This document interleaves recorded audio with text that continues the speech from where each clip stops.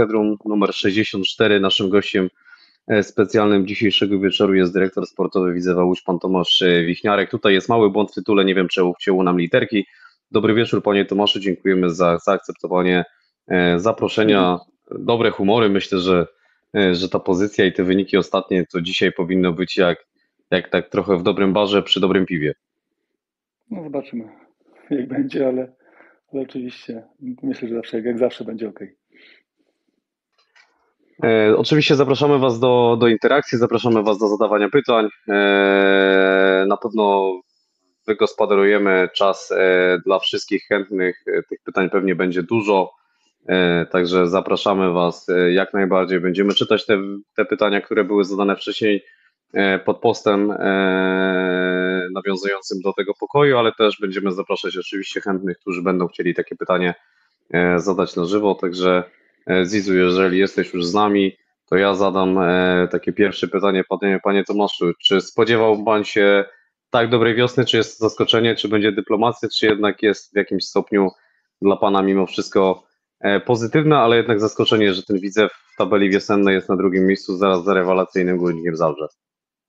Hmm, znaczy powiem w ten sposób, że oczywiście liczyłem, że będziemy lepiej punktować niż wcześniej, bo na to składa się kilka kilka rzeczy i, i jakby widziałem pracę też sztabu piłkarzy i, i, wierzyłem w to, że będziemy tak dobrze punktować. Drugie miejsce rzeczywiście jest, jest wysoko, ale no, też zdajmy sobie sprawę z tego, że te zespoły powiedzmy z tej górnej, z górnej części, może nawet nie połówki, bo, bo my jesteśmy w górnej połówce, ale powiedzmy tej takiej topowej trójki, czwórki, też nie to nie, nie punktują aż tak bardzo, jakby można się spodziewać. No ale tak naprawdę można powiedzieć, że my rywalizujemy tutaj z tymi zespołami, przynajmniej do tej pory. Tutaj Stal Mielec. Yy, myślę, że w naszym zasięgu też jest Raków. Można powiedzieć, że powalczymy w zależności od tego, co się wydarzy yy, w przyszły weekend, czyli mecz pomiędzy Rakowem Częstochowa, a właśnie mhm. Widzewem Łódź. To tak naprawdę przy naszej wygranej możemy, możemy, możemy powalczyć tutaj nawet o wymianę w najbliższych kolejkach pozycji między tymi zespołami. Więc tak naprawdę no, pewnie te pozycje Jagiellonii czy Śląska Wrocław to były poza zasięgiem od samego początku tej rundy, ale, ale mimo wszystko gdzieś tam mm, wydaje się, że, że jeszcze to jedno oczko wyżej można byłoby pod, y, podrasować względem tego, co jest na ten moment. Mm, na pewno tak, z tym, że no, my cały czas zaznaczaliśmy, że nas interesuje postęp, a postęp będziemy e, oceniać poprzez większą liczbę punktów a, a miejsce to jest troszeczkę wykładnikiem tych punktów. Nie zawsze, nie zawsze dwa czy trzy punkty więcej to miejsce takie czy też inne.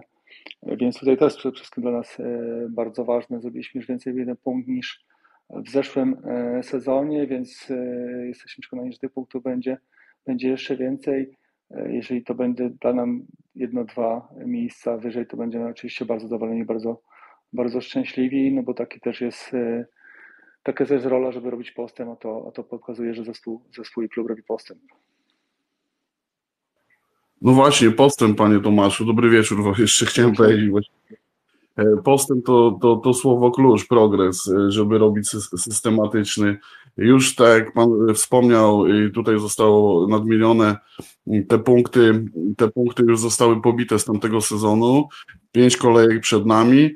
E, jakie by było miejsce takie pana wymarzone na, na koniec tego sezonu? Albo ilość punktów, bo już jak idziemy w te punkty, no to już powiedzmy o tej ilości punktów. Pan znaczy, zadowolony. Znaczy ja bym chciał wygrać wszystkie mecze do końca, więc myślę, że tak samo e, sztab, jak i piłkarze i to jest, e, to jest cel, tak? Każdy następny mecz.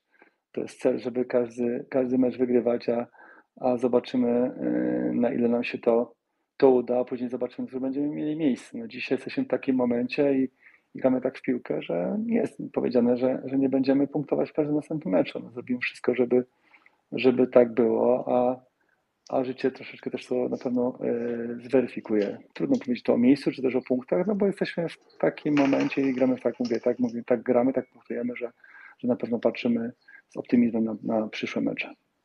Piłkarze mówią o premii, o premii, że im też zależy oczywiście, bo, bo czym wyższe miejsce w tabeli, wiadomo, że ta premia mhm. E, pewno jakaś tam im wpadnie. E, czy te premie ustalone są z góry jakieś, e, są jakieś widełki zależne od miejsca, jakie zajmiemy? Tak, premie są ustalone od, od miejsca, które... rozumiem, czym wyżej, tym premia też idzie w górę, tak? Proszę, halo? Rozumiem, czym wyżej, tym premia też idzie w górę. Premia też idzie w górę w momencie każdego miejsca wyżej, tak na pewno. Czy już teraz są ustalone te widełki, jeżeli chodzi o e, jeżeli chodzi o ten zastrzyk finansowy względem pozycji zajętej na koniec sezonu, czy to będzie dopiero Jest to, E, znaczy jest to ustalone, tak. tak Zasady i, tak, tak, zasady jest tak, że takie rzeczy ustali się przed sezonem, żeby później nie było niepotrzebnych Czy- jakichś dyskusji. to, to chciałem od razu dodać, czy, czy, czy mógłby Pan nam zdradzić e, powiedzmy ten taki największy skok w okolicach tej pozycji, w której teraz my jesteśmy, jeżeli chodzi o ten skok finansowy? Mm, Znaczy nie bardzo rozumiem, Chodzi mi o to o ten zastrzyk finansowy względem pozycji, to znaczy czym wyżej, tym wiadomo, że tych pieniążków jest Mhm. więcej, ale są takie pozycje, które dają wyraźny skok finansowy, jeżeli chodzi o tą zajętą No to pozycję. wystarczy, wystarczy spojrzeć e, w pieniądze, które Ekstraklasa e, daje za miejsca i tam też widać, w którym miejscu jest, w którym momencie jest największy skok i to mniej więcej jest jakś tam procentowo ustalone e, dla drużyny, dla sztabu, w zależności od którego miejsca będzie, będzie w którym miejscu, w którym miejscu, na którym miejscu skończy, skończy zespół rozgrywki. No dobrze, może wróćmy sobie e, teraz do, do, do zimy. Kończymy tą jesień. Wiadomo, że e, ta końcówka no pewno nie, nie ułożyła się tak, jakbyśmy sobie wszyscy tego życzyli. E, Jakie były plany, panie Tomku, na, na te okienko zimowe? Bo z tego, co ja kojarzę, z klubu płynęła e, retoryka pod tytułem no nie ilość, a jakość, to przede wszystkim słyszałem. E, Czy były, czy były jakieś obawy e, o tą wiosnę? No bo wiadomo, jak wyglądały te, te widzewskie wiosny. Kibic Widzewa jest pewno doświadczony tymi wiosnami.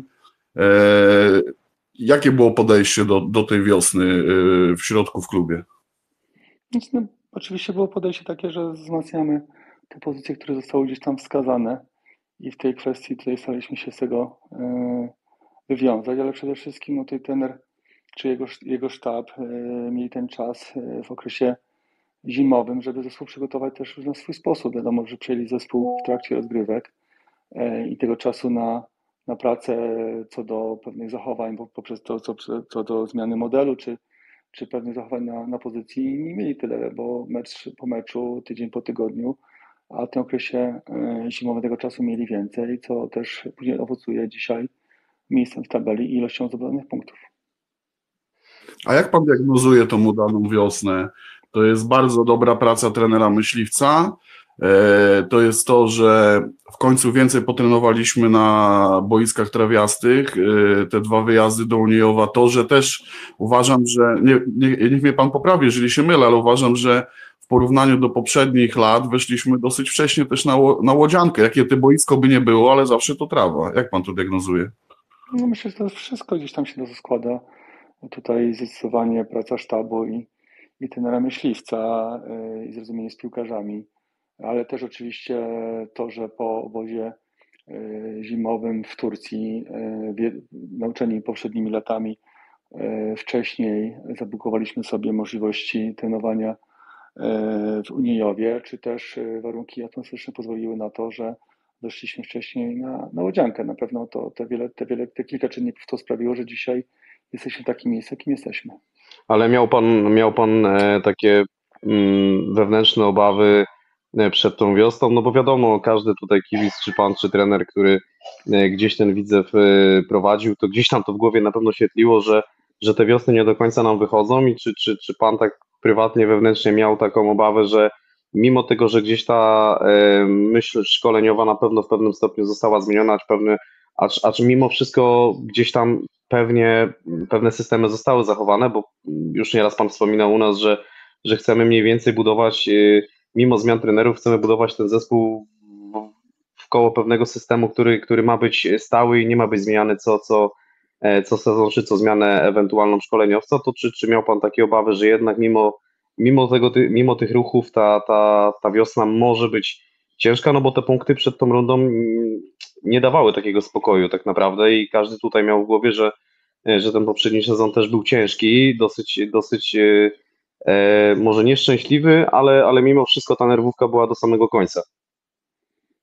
Znaczy to jest, to o czym mówimy, to była historia, tak? No trudno przejmować się tym, co było. Zawsze patrzę do przodu i, i wierzyłem, że ten zespół e, jest w stanie e, grać lepiej i wiedziałem, że ten zespół jest w stanie grać lepiej i, i ten sztab, ten zespół tak poprowadzi, żebyśmy zdobyli tych punktów więcej, więc to nie są obawy, no bo to jakbym się miał obawy, no to, to właściwie mógłbym po co te nerwy, nigdy nie wiem jak będzie, więc, e, więc nie, nie miałem obaw, miałem nadzieję, że będzie, że, znaczy inaczej, miałem nadzieję i takie przekonanie, że będzie, będzie ta wiosna e, dla nas lepsza.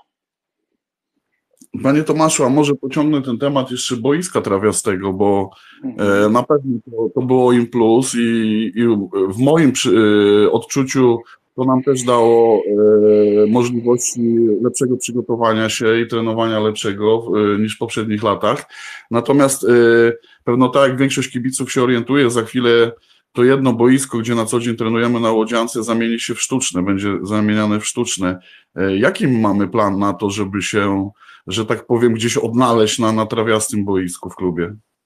No, zespół pierwszy trenuje na trawiastym boisku, jakby to boisko trawiaste dla pierwszego zespołu cały czas będzie dostępne, więc jakby to dla nas aż tak dużo się nie zmieni. Zmieni się troszeczkę sytuacja akademii, ale dwa boiska sztuczne pozwolą na to, żeby e, zawodnicy akademii mogli e, w lepszych warunkach, no bo wiadomo, że na trawie w tym okresie przejściowym, zimowym, czy też wczesnowiosennym mieliby problem, żeby trenować, a jedno boisko sztuczne byłoby jest za małe, więc takie, postanowi, takie zostały podjęte kroki, żeby, żeby te warunki poprawić poprzez to, że są boiska e, sztuczne, które, które można użytkować przez cały rok właściwie.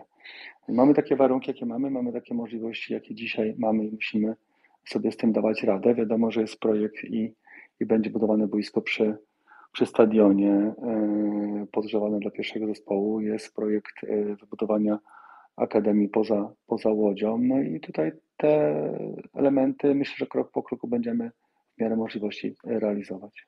To ja będę dalej ciągnął Czyli- ten temat sportowy. Daj Zizu tylko jedną, jedną rzecz zapytam. E, Zanim też zaczniemy zadawać pytania od, od kibiców, chciałem też zapytać mm, o takie największe pozytywne objawienie, czy, czy, czy taki największy pozytyw, jeżeli chodzi o zawodników Widzewa na wiosnę, wedle Pana opinii. Kto tak naprawdę dał najwięcej? Ja wiem, że może nie chciałby Pan wyróżniać jednej osoby, ale mimo wszystko, jeżeli mógłby Pan taką, takiego zawodnika, być może z tych młodych, być może kogoś z najbardziej doświadczonych, takiego, który, który być może zrobił największy postęp, ale też najwięcej po prostu na tą wiosnę dał, wedle Pana opinii. Znaczy myślę, że to jest tak, że mogę wymienić tych, tych powiedzmy zawodników, którzy przyszli e, latem, no bo, bo ci zawodnicy, którzy byli wcześniej, e, powiedzmy, że już e, ich e, możliwości gdzieś poznaliśmy i, i nie chciałbym tutaj do nich gdzieś, gdzieś tam ich teraz wyróżniać. Bardziej tych zawodników, którzy przyszli latem, to na pewno no, ciekawym, ciekawe, ciekawie wygląda e, Antoni Klimek, tak, e, na pewno swoją rolę spełnia i mat e, dobrym impulsem. e, Jest, jest przyjście Rafała Gikiewicza. Jako zespół w ogóle bardzo dobrze funkcjonujemy i tutaj ja oczywiście wymieniłem trochę te trzy osoby, ale tutaj trzeba powiedzieć, że, że cały zespół dobrze funkcjonuje i wielu zawodników spełnia swoją rolę i nawet jeżeli nie zawsze są pierwszym wyborem, to jak wchodzą, to dają ten impuls, dają temu zespołowi e, dużo i jesteśmy ogólnie za- zadowoleni z tego, jak zespół funkcjonuje i każdy, że każdy z piłkarzy uważamy robi, robi postęp. Ja jeszcze może nawiążę do tego boiska, bo chciałem uściślić, panie dyrektorze. Czyli my będziemy e, trenować, rozumiem, na tym boisku e, quasi hybrydzie, tak jak my to nazywamy Mhm. przez kibiców. A druga drużyna, jak to będzie wyglądać z drugą drużyną, ona tam rozgrywa swoje mecze ligowe w czwartej lidze i po ewentualnym awansie, za który trzymamy pewno wszyscy kciuki, e, gdzie ta drużyna miałaby grać, bo rozumiem, że Łodzianka wtedy nie spełniałaby kryteriów licencyjnych. Mm, Myślę, że, znaczy powiem szczerze, jako nie są infrastruktury do końca, e, myślę, że jedno z tych boisk e, hybryd z tych sztucznych będzie na pewno dopuszczone do rozgrywania meczów. Czy będą grali mecze na, na tej hybrydzie, no to to się okaże. Ja dzisiaj nie, nie odpowiem na to jednoznacznie, bo, bo ja takiej wiedzy e, w tym momencie jeszcze nie mam.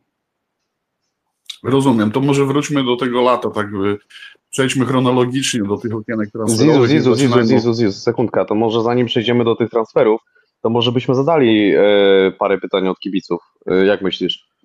Bo jest parę osób, Proszę. które, które zadało pytania tutaj na czacie, a potem pewnie dopuścimy chętnych do zadania pytania na żywo, jeżeli oczywiście takie osoby będą, ale mamy nadzieję, że tak.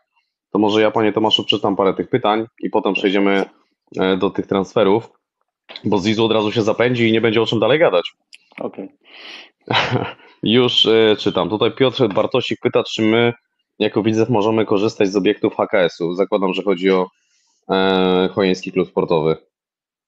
Mm, Znaczy, to nie są nasze obiekty, więc jeżeli byśmy mogli kiedykolwiek o, korzystać, to tylko chyba wyłącznie na zasadzie życzenia czy, czy jakiejś umowy wewnętrznej, ale nie wiem tak dokładnie. Nie Dobrze, to- to pytanie.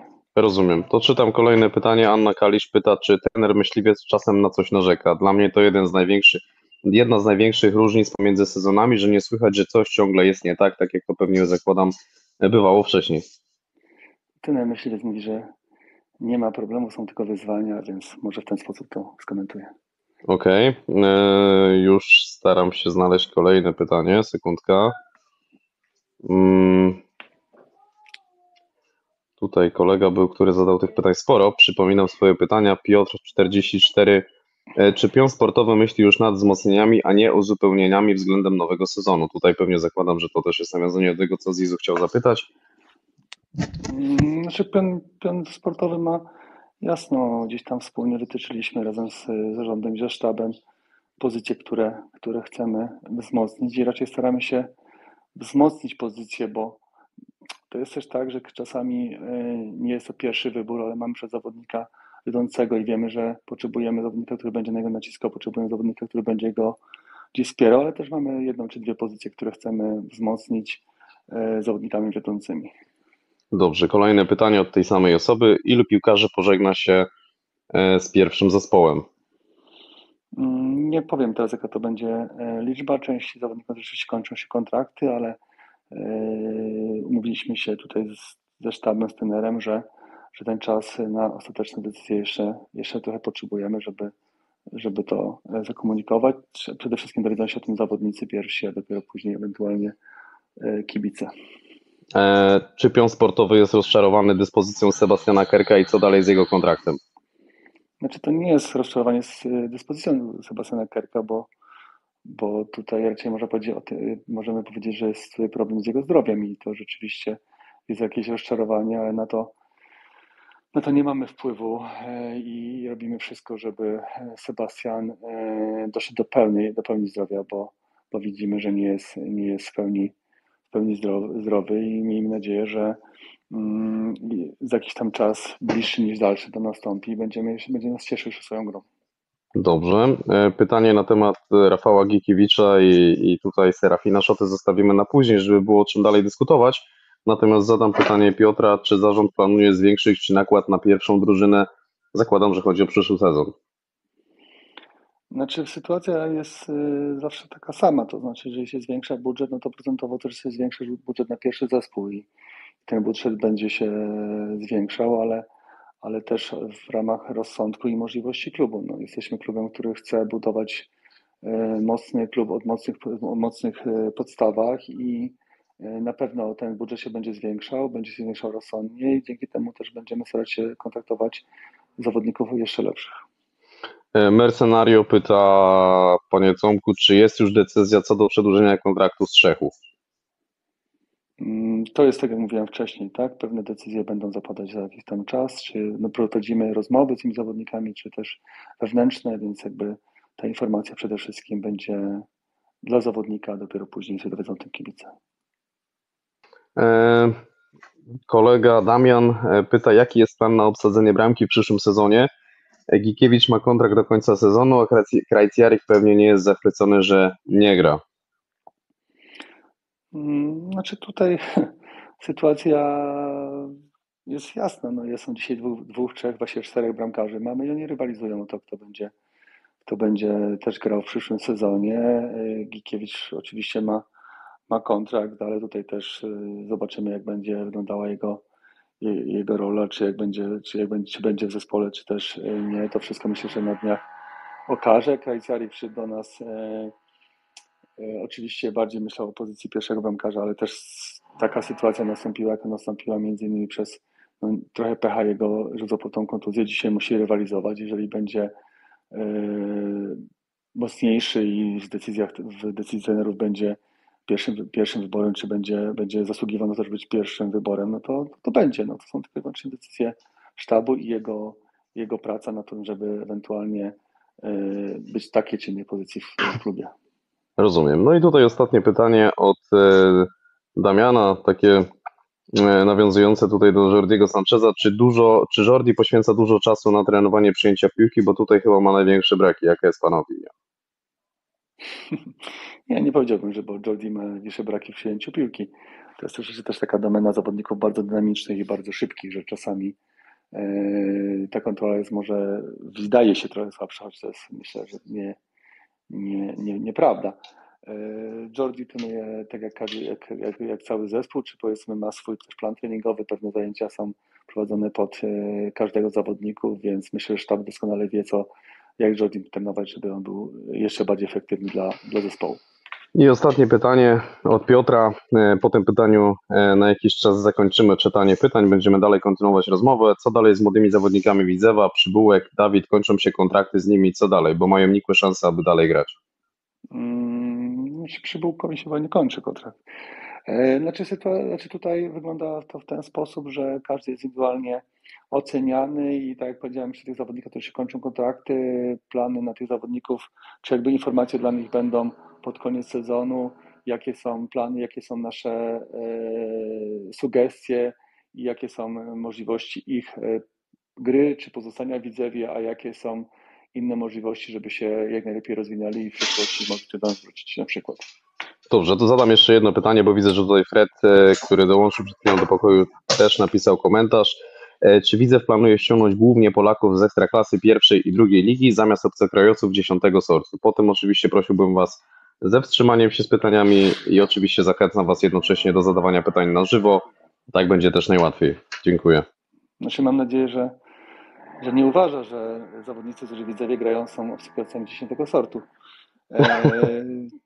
Tak, tak mam taką nadzieję szczerą. E, zawsze naszym pierwszym wyborem to są Polacy, następni zawodnicy grający w klasie, bo to jest tutaj ta łatwość adaptacji, co jest ważne, e, ale staramy się ściągnąć zawodników, którzy najlepiej pasują, czy najlepiej są w stanie zrealizować e, zadania, które stoją przed nimi i które pasują też przede wszystkim sztabowi do modelu gry i, i w ten sposób pracujemy. E, Dobrze, jeżeli chodzi o pytania z czatu, to jeżeli macie ochotę, to je za- zadajcie. Będziemy je zadawać e, konsekwentnie po upływie pewnych, pewnie 15-20 minut, e, ale jednocześnie zachęcam Was do zabrania głosu na żywo. Panie Tomaszu, słyszę, że u Pana remont, tak? To czyli Nie, czyli kadra, kadra będzie remontowana na, na latem, to i u, u, u Pana w domu również. No właśnie za ścianą słyszę, że ktoś tam tutaj Okej. jakiś obra, obra, obrazek przywiesza. Może, może, może zdjęcie e, tutaj kadry Widzewa będzie wieszane, takie posezonowe. Całkiem możliwe. E, Zizu, kontynuujemy. E, Ja bym chciał zapytać o ten mecz przyjaźni. Jak pan to ocenia? Taki trochę mecz na wesoło, prawda? I w jedną, i w drugą stronę, taki trochę bez trzymanki. Wydarzyć się mogło wszystko. Trochę tego naszego przyjaciela dobiliśmy, ale z drugiej strony chyba te szanse stracili już dawno na to utrzymanie. Jak pan to ocenia? Mm, Znaczy myślę, że do, powiedzmy do tej 70 minuty ten mecz nie był jakimś meczem e, wesołym, jak, jak, to, no, to pan nazwał, tylko no, oba zespoły próbowały realizować swoje założenia z lepszym, gorszym- skutkiem, z lepszym do, do, do tego momentu. E, Więc później ta końcówka rzeczywiście już taka zrobiła się wymiana, trochę, trochę pogubiliśmy też e, nasze chyba zadania, które mieliśmy do wykonania e, na boisku. Co do, do ruchu, no myślę, że tak, że wcześniej ten mecz, ten wynik tego meczu nie, niewiele zmienia w ich, w ich położeniu, no bo wygrywając dwa mecze do tego momentu, nawet to, to, to rzeczywiście nie wiadomo, co musiałoby się wydarzyć, aczkolwiek no, matematyczna matematyka mówi, jeżeli mają, mają możliwość się utrzymania, to mo- powinni w to wierzyć i walczyć o to, żeby się utrzymać. Ja bym bardzo chciał, żeby, żeby ruch grał w przyszłym sezonie w Ekstraklasie, bo, no bo pokazał, że na to zasługuje chociażby kibicowsko i tutaj po tym walo, z tych walorów to, to, to takie, takie mecze są wspaniałe. Mm, Więc tak mi po, po ludzku po prostu szkoda, szkoda, jeżeli ruch miałby, miałby spaść. E, takie mecze przyjaźni, no na stadionie wśród kibiców fajnie, ok, ale no, na boisku nie ma meczy przyjaźni, tam po prostu jesteśmy rozliczani też za, za, warun- za wyniki i tam powinniśmy punktować z każdym. No dobrze, to je- jedziemy, e, jedziemy w takim razie dalej. E, Panie dyrektorze, często wśród kibiców e, pojawia się taka dyskusja na temat proporcji w drużynie, czyli takie modne słowo w świadku piłkarskim struktura drużyny, prawda? Czyli narzekają często, że tych obcokrajowców może jednak jest troszeczkę za dużo w Widzewie, czyli e, ta wajcha została troszeczkę przesunięta za mocno w stronę Stranieri. E, Jak pan do tego by się odniósł? Czy my zapatrujemy się bardziej teraz w tym okienku, które nas czeka na, na, tą, na tą stronę polską? Jaka w ogóle jest trudność w pana opinii ściągania polskiego zawodnika? Czy my w ogóle planowaliśmy na przykład podpisywać e, kontrakt na przykład zimą z piłkarzem, który, e, któremu się kończy kontrakt latem, pół roku przed wygaśnięciem kontraktu, czy obserwowaliśmy takich piłkarzy, bo tak jak mówię, no często jak rozmawiam z kibicami, to to, to, to, to się przejawia, tak, to, czyli Polacy versus obcokrajowcy. Jest to trudny temat, tak jak mówiłem. Dla nas zawsze na pozycję, że szukamy, to szukamy, czy mamy możliwość pozostania Polaka na daną pozycję. No, oczywiście to jest kwestia jakości do ceny i tutaj zaczyna, zaczynają być problemy. Yy, I to sobie musimy jasno powiedzieć. Dwa, zobaczmy zespoły, które dzisiaj wiedzą prym. No niestety są zbudowane w większości na obcokrajowcach. Są to zawodnicy, którzy wiodą prym tych, tych, też tych zespołach i ciągną te zespoły. I chyba troszeczkę nieuniknione, ponieważ yy, ci najlepsi Polacy dość szybko wyjeżdżają. I z tym, trzeba, z tym nie ma co polemizować, bo są fakty. Mm, Chcielibyśmy utrzymać strukturę, eee, żeby była większa liczba Polaków eee, w, w kadrze i też najlepiej, żeby, żeby ci Polacy jak najczęściej występowali eee, w pierwszym, w pierwszym składzie, ale tutaj nie ma też sentymentów. Tutaj musimy sobie jasno powiedzieć, że to jest też kwestia jakości. My za chwilę, bo to z jednej strony tutaj kibice mówią, że żeby tych Polaków było więcej, ale z drugiej strony, jeżeli zespół nie będzie miał tak odpowiedniej jakości i nie będzie wygrywał meczy, no to też będziemy niezadowoleni z tego powodu. Więc my musimy to wypośrodkować. Zawsze tak mówię, chcemy, żeby pierwszym naszym wyborem był Polak. Y, Zobaczymy, patrzymy, czy możemy go pozyskać. I jeżeli to jest kwestia powiedzmy równych umiejętności oceny, bo to oczywiście ocena zawsze jest ocena, więc ocena może być różna, ale powiedzmy, że, że wspólna ocena sztabu planu sportowego jest taka, że ten Polak e, jest na tą pozycję odpowiedni, jego, jego poziom odpowiedni, jego zachowanie i tak dalej, i tak dalej, no to idziemy w tego, idziemy, próbujemy pozyskać tego Polaka. Jak się udaje, no to też, też można to, to ocenić, ale też sobie zobaczmy na ligę, ilu, ilu gra obcokrajowców i jak, jaką, jaką rolę pełnią w swoich zespołach. E, To ja zapytam Panie Tomaszu, czy, czy zgodzi się Pan z tym, mm, że nasza gwiazda, kapitan i tak dalej, i tak dalej na wiosnę obniżył ciutkę loty, czy, czy, czy jest, jeżeli tak, to czy jest to spowodowane, czy ma Pan jakąś diagnozę, ale czy, czy mogłoby to być spowodowane tą sagą e, negocjacyjną, jeżeli chodzi o kontrakt, y, czy, czy mogły mieć na to wpływ inne rzeczy, czy po prostu mamy troszkę e, zaciemnioną rzeczywistość względem tej fantastycznej fantastycznego sezonu w zeszłym, e, w zeszłym, sez- e, w zeszłym roku, czyli, czyli te bramki z rzutów wolnych i tak dalej. No Bartek ciągnął ten zespół w momencie, kiedy nie szło. Teraz te siły troszkę się rozkładają na, na większą ilość piłkarzy, ale czy, czy, czy zgodzi się Pan, że jednak Bartek ciutkę, ciutkę obniżył te loty? Czy może zm- zmiana pozycji? Tak, jeszcze do tego. Znaczy, z mojej perspektywy to też jest tak, że zespół jest chyba mocniejszy, to znaczy nie może Bartek obniżył, tylko też część, większość piłkarzy po prostu też, też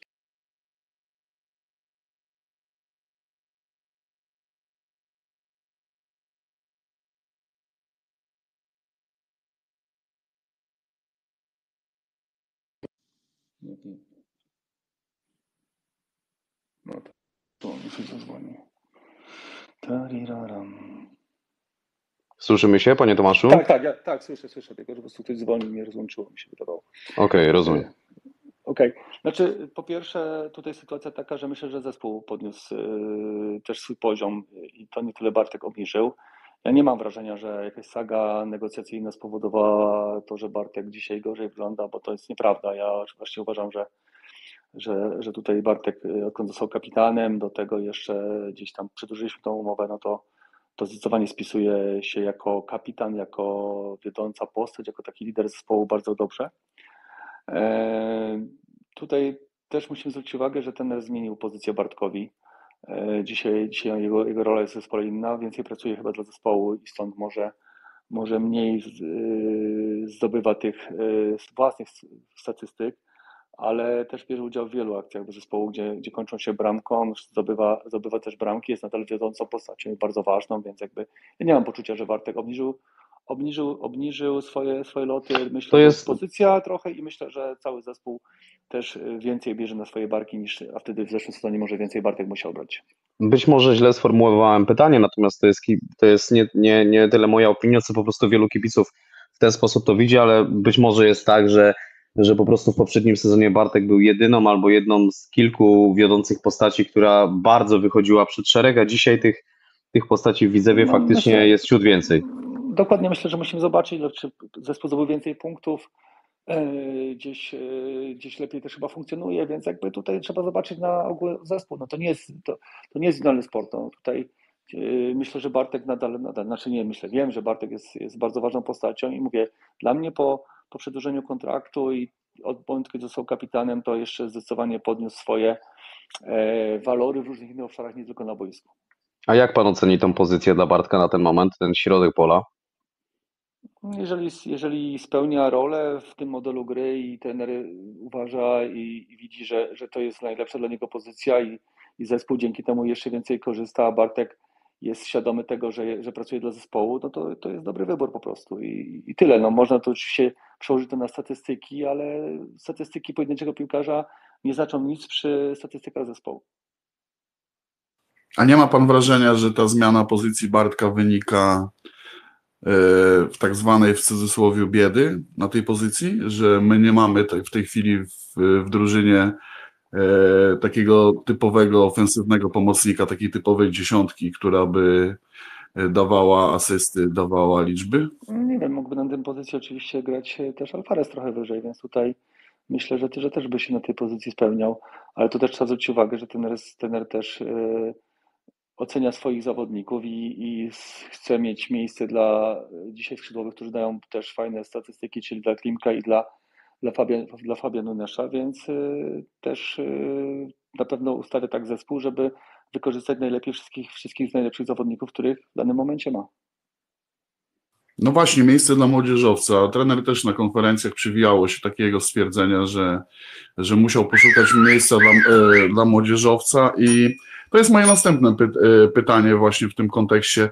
Czy dla Pana ta sytuacja, która jest obecnie w PZPN, czyli nie wiemy tak naprawdę na czym stoimy, to jest bardzo duży problem, czy gigantyczny wręcz problem, bo rozumiem, że no, dyrektor sportowy, który ma budować kadrę na przyszły sezon, no chciałby wiedzieć na czym stoi, a w tej chwili nie wiemy, jak ten przepis będzie wyglądał, w jakim on będzie ks- kształcie, czy dalej będą kary za te minuty, czy może będą nagrody. Jak, jak my w ogóle widzowie do tego podchodzimy? Znaczy ja nie rozumiem w ogóle tego, jak PZPN przez tyle czasu nie może do tego jednoznacznie podejść i, i dać jednoznacznych wytycznych, tylko teraz do 10 maja, do 20 maja, yy, w grudniu już była ta, ta, ta rozmowa, w zeszłym roku też było to no, na ostatnią chwilę. Szczerze mówiąc, sorry, ale nie rozumiem tego, jak można w ten sposób zawiadywać tak trudną, tak ważną rzeczą, no jakby nie było. Yy, Z mojej perspektywy przepis ogólnie nie sprawdził się. Uważam, że, e, że powinien się raczej przede wszystkim nagradzać tych, którzy, którzy chcą, jeżeli chcemy wprowadzać młodych piłkarzy, to nagradzać tych, którzy chcą tymi młodymi piłkarzami grać, mają na to pomysł, mają struktury i będą ich e, promować, a nie karać tych, e, którzy może w mniejszym wymiarze będą, chcą, mają to, mają, mogą to robić, no bo to też powoduje, że ci bogatsi mogą sobie na to pozwolić, że na przykład e, z ich, ich pozycji e, nie będą grać młodzieżowcem i zapłacą za to karę, a zespół, który na przykład nie ma dobrej akademii albo nie może tych zawodników dzisiaj zakontraktować, ponieważ ceny tych młodych piłkarzy też, e, jeżeli chodzi o pozyskanie przez ten przepis nieadekwatnie do ich dzisiaj jeszcze, dzisiejszej jeszcze ich dzisiejszego poziomu wzrosły. Tak samo jeżeli chodzi o, o oczekiwania czy zawodników tych młodych, czy agentów, bo ten przepis spowodował taki dysonans, że, że no niestety y, trzeba, trzeba się zgodzić na płacenie ponadwymiarowych pieniędzy dla, dla tych zawodników, albo opłacać agentów, albo też kluby, które, które jakiś tam powiedzmy pojedynczych zawodników e, dzisiaj mają i, i, i, i ktoś by chciał pozyskać.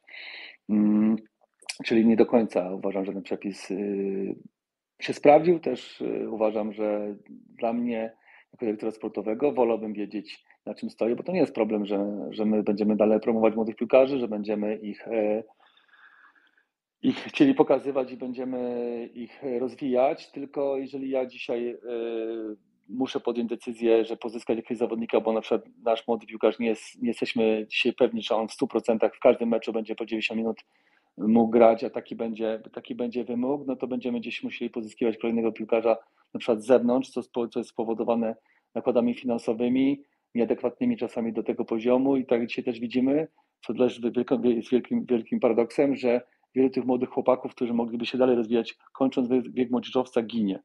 E, przestają grać, a na ich miejsce troszeczkę z musu, a nie z, z oceny sportowej wchodzą młodzi, e, młodzi zawodnicy. Y, to jest na pewno problem, ale dla mnie najwyższy problem jest to, że my dzisiaj nadal nie wiemy, jak będzie ten przepis wyglądał w przyszłym, w przyszłym sezonie i nie widzę, nie, nie rozumiem, dlaczego do tej pory nikt nie potrafił tego y, o tym zdecydować. To ja zapytam, e, to ja zapytam o, o kontrakt, e, a tak naprawdę automatyczne przedłużenie Jordiego Sancheza, czy, czy, czy to przedłużenie umowy oznacza brak szukania dziewiątki, lepszej dziewiątki e, na przyszły sezon, a wiadomo, że apetyt rośnie w miarę jedzenia, więc ta wysoka pozycja na ten moment e, w tabeli Widzewa na pewno wzbudzi jeszcze większy głód na przyszły sezon. Czy jest to zagrywka typowo przedtransferowa i, i po prostu, no wiadomo, że kiedy zawodnik ma jeszcze ten kontrakt, to ta, to ta gotówka jest po prostu większa mm, przy ewentualnym transferze. Znaczy, taki był zapis kontraktu, tak, że, że my tak zapisujemy kontrakty, że jeżeli zawodnik spełnia swoją rolę, czyli jest zawodnikiem powiedzmy podstawowym, no to, to chcemy, żeby ten kontrakt się przedłużał też automatycznie, bo wtedy obie strony powinny być tym zadowolone, szczególnie klub, że ma nadal piłkarza. Yy, więc yy, tak, tak wygląda sytuacja. Co do, co do yy, Jordiego, to nie można powiedzieć, że jesteśmy niezadowoleni, czy że chcemy, z, że będziemy jakoś tak strasznie tutaj e, może inaczej, zawsze się szuka napastnika, zawsze jakby od samego początku scouting w każdym okienku dostaje informację, szukamy, szukamy napastnika. Jeżeli będziemy mieli możliwość pozyskania zawodników, którzy jeszcze nas zwiększą e, rywalizację, to na pewno do tego podejdziemy poważnie i podejmiemy taką, taką, taką decyzję. No to ja zapytam to kogo w hierarchii pierwszego napastnika pan by na dzień dzisiejszy ustawił? Imat czy jednak Jordi?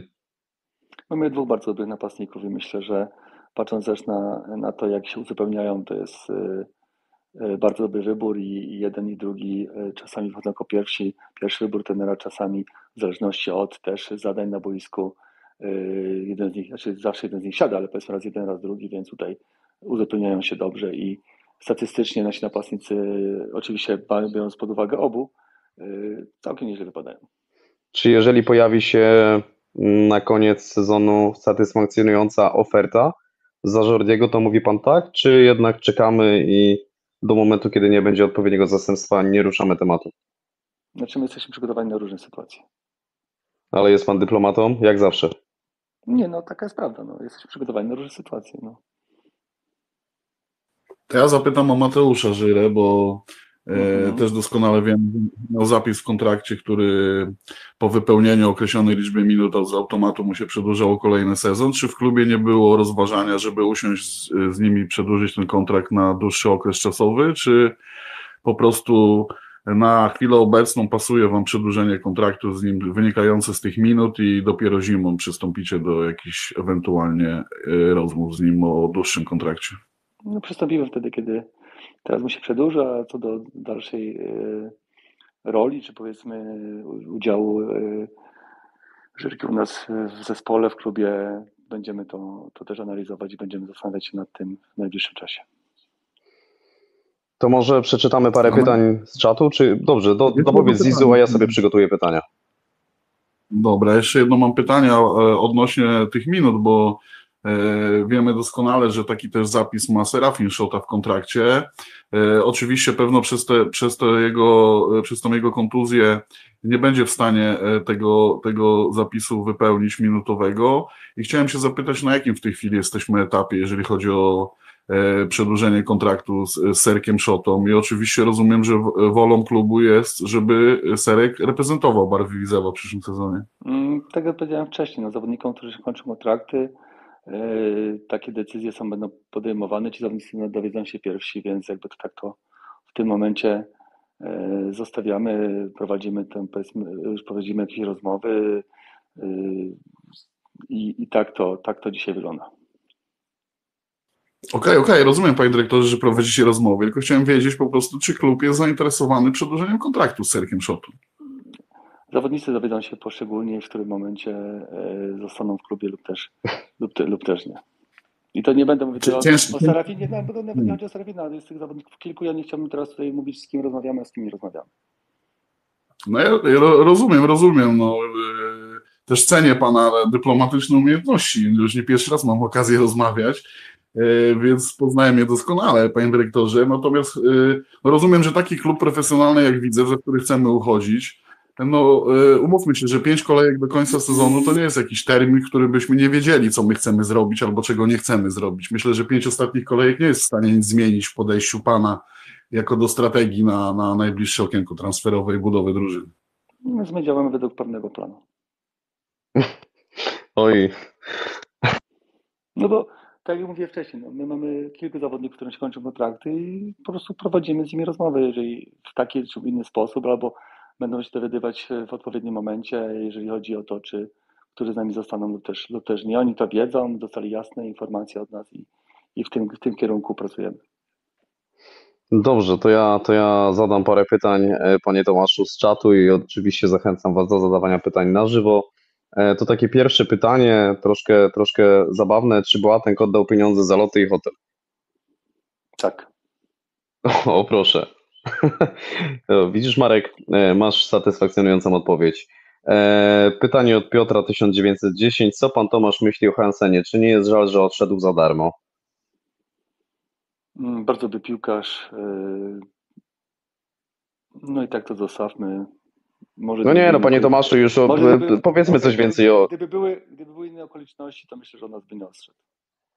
E, Czy te okoliczności są związane z trenerem? No, możemy jasno sobie powiedzieć tak, że w momencie, kiedy był ten Niedźwiedź, ten Niedźwiedź nie stawiał na, e, na Christophera i ta decyzja była taka, jaka była. To wynikało z jego roli w danym momencie i z tego, że on był też nieszczęśliwy w tym momencie, będąc w Widzewie. Czyli dopowiedzmy, czyli jeżeli trener myśliwiec pojawiłby się wcześniej w Widzewie, to Hansen by został? Mm, Tego nie wiem oczywiście, bo, bo y, Czy to, czy to jest profil piłkarza, którego chciałby mieć w składzie e, trener myśliwiec? myślę, że, myślę, że trzeba zapytać trenera myśliwca, ale ja bym, ja bym, ja bym chciał mieć tego zawodnika. Okej, super. A tak przy okazji, panie, panie dyrektorze, y, ten rynek skandynawski y, cały czas mamy, mamy na oku, bo, bo przyznam, że, że tam pewnie jakiś tam paru Hansenów jeszcze biega, którzy, którzy są w zasięgu naszym. No, myślę, że mamy kilka też innych rynków, tak, skandynawski to jest y, rynek, który obserwujemy, no chociażby Boateng był następnym przykładem, tak. Więc jakby te, ten, ten rynek też cały czas, y, cały czas monitorujemy. To ja jeszcze dopytam tutaj. jest rozczarowany tym Boatengiem? Bo jak patrzyłem na jego karierę y, na boiskach tureckich, to tam furory, furory raczej nie No robią. nie gra chyba z tego co pamiętam, w ogóle nie wiem, czy tam w ogóle zagrał. Chyba tak, chyba tak. Że w ogóle go nie było, tam też była taka sytuacja, z tego co później rozmawialiśmy, to, to chyba trener go chciał, czy dyrektor go chciał, tego nie chciał. Nie wiem jaka dokładnie. Wiem, że tam też były jakieś takie animozje. E, Znaczy rozczarowany to on może być. Ja już nie jestem rozczarowany, bo go nie mam i, tyle na jego decyzja i może, może dobra. E, jakby spo- spojrzeć na, na to, jak on w Turcji dzisiaj funkcjonuje, ale w danym momencie no, byliśmy rozczarowani, no bo to była nasza jedynka, byliśmy dogadani, z klubem byliśmy, byliśmy też e, dogadani, wszystkie, wszystkie tematy były doprowadzone właściwie do końca, miał wsiąść w samolot rano i zadzwonił rano, że, że nie wsiądzie, bo Turcy dali mu tyle pieniędzy, że nie, że nie jest w stanie tego odrzucić. To ja dopytam jeszcze o Hansena. Powiedział pan, że chciałby mieć pan takiego zawodnika w składzie. Rozumiem, że chodzi o Hansena z Jagiellonii Białystok. Natomiast jeżeli znał pan jego możliwości i wierzył pan w niego, to czy jako dyrektor sportowy Widzewa Łódź nie miał pan możliwości postawienia takiego ultimatum? E, może nie ultimatum, może to brzydko brzmi, ale powiedzenia po prostu, że e, nie zgadza się pan na, na, na tutaj napuszczenie Hansena za czapkę gruszek. Tak. Znaczy to nie, to nie, w tak, to nie tak wygląda, ponieważ no, e, Hansi był u nas dość, dość długo mimo wszystko, no i jakby ocena sztabu była taka, a nie inna i to kilka razy, więc jakby też no tutaj jako dyrektor sportowy też podejmuje się pewne decyzje że jeżeli trener na niego nie będzie stawiał i nie będzie, nie będzie to nas pierwszy wybór, a, a też to jest zawodnik, który powiedzmy jest jakimś, e, każdy z nich zawodników powiedzmy w budżecie i mamy pozyskać następnego zawodnika, który ma grać, no to musimy pewne kroki podejmować. Jakby ta, ta decyzja była w danym momencie e, świadoma, że, że ta zgoda na odejście Christophera też e, była, czy była informacja, że jeżeli, jeżeli jego rola taka ma być w zespole, no to, to myślę, że, że nie ma co go, co go trzymać. Ja mówię Tak. o Hansenie jako piłkarzu, którego gdzieś tam ocenialiśmy w momencie pozyskania i, i widziałem jego gdzieś umiejętności i możliwości, ale nie zawsze każdy zawodnik pasuje danemu trenerowi do modelu gry, do pewnego ustawienia. To nie jest tak, że trener Niedźwiedź zrobił coś złośliwie, czy, czy nie wiem, czy nie poznał się na umiejętnościach, bo te umiejętności trener Niedźwiedź też y, dobrze, dobrze oceniał. Tutaj był problem tym, że no gdzieś nie, nie, nie, nie- dopasował y, się Christopher do, do wymagań trenera, do jego ustawienia, do jego modelu gry. Taka była decyzja trenera. Na tę pozycję mam innych zawodników, których, których bardziej, bardziej mu pasowali i tyle. No. Przed kolejnymi pytaniami tylko dopowiem, że taki los piłkarza, czy trenera, czy dyrektora sportowego jest bardzo, e, bardzo ciężki, no bo e, trener Niedźwiedź odchodzi z Widzewa i spada z ruchem Chorzów prawdopodobnie, e, a, a Hansi prawdopodobnie zostanie mistrzem Polski, także No tak- nigdy nie tak wiadomo bywa, tak naprawdę, nie, nigdy nie wiadomo co się wydarzy, prawda? W jednym zespole jeden zawodnik odpali, a w drugim poleci w dół. E, Jeżeli chodzi o Łukasza i widzewskiego, e, widzewski charakter, e, chociaż tutaj teraz jest widzewski chłopak, to za chwilę Was dopuszczę do głosu, e, natomiast odpowiem, e, przeczytam jeszcze kolejne pytania, także Zizu chwilkę proszę i, i zaraz będziemy, zaraz będziemy e, kontynuować. E, Kolejne pytanie. Mm,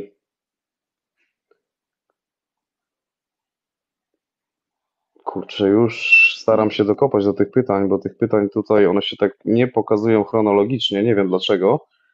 Eee, Zizu, jeżeli chcesz, to zadaj kolejne pytanie, zaraz dopuścimy chłopaków, a ja sobie je uporządkuję i zapiszę, bo tutaj się to w ogóle chronologicznie nie pokazuje. Ja tylko chciałem się zapytać jeszcze odnośnie właśnie takich zawodników jak Hansen, panie dyrektorze, bo jak Mhm. już jesteśmy w tym temacie.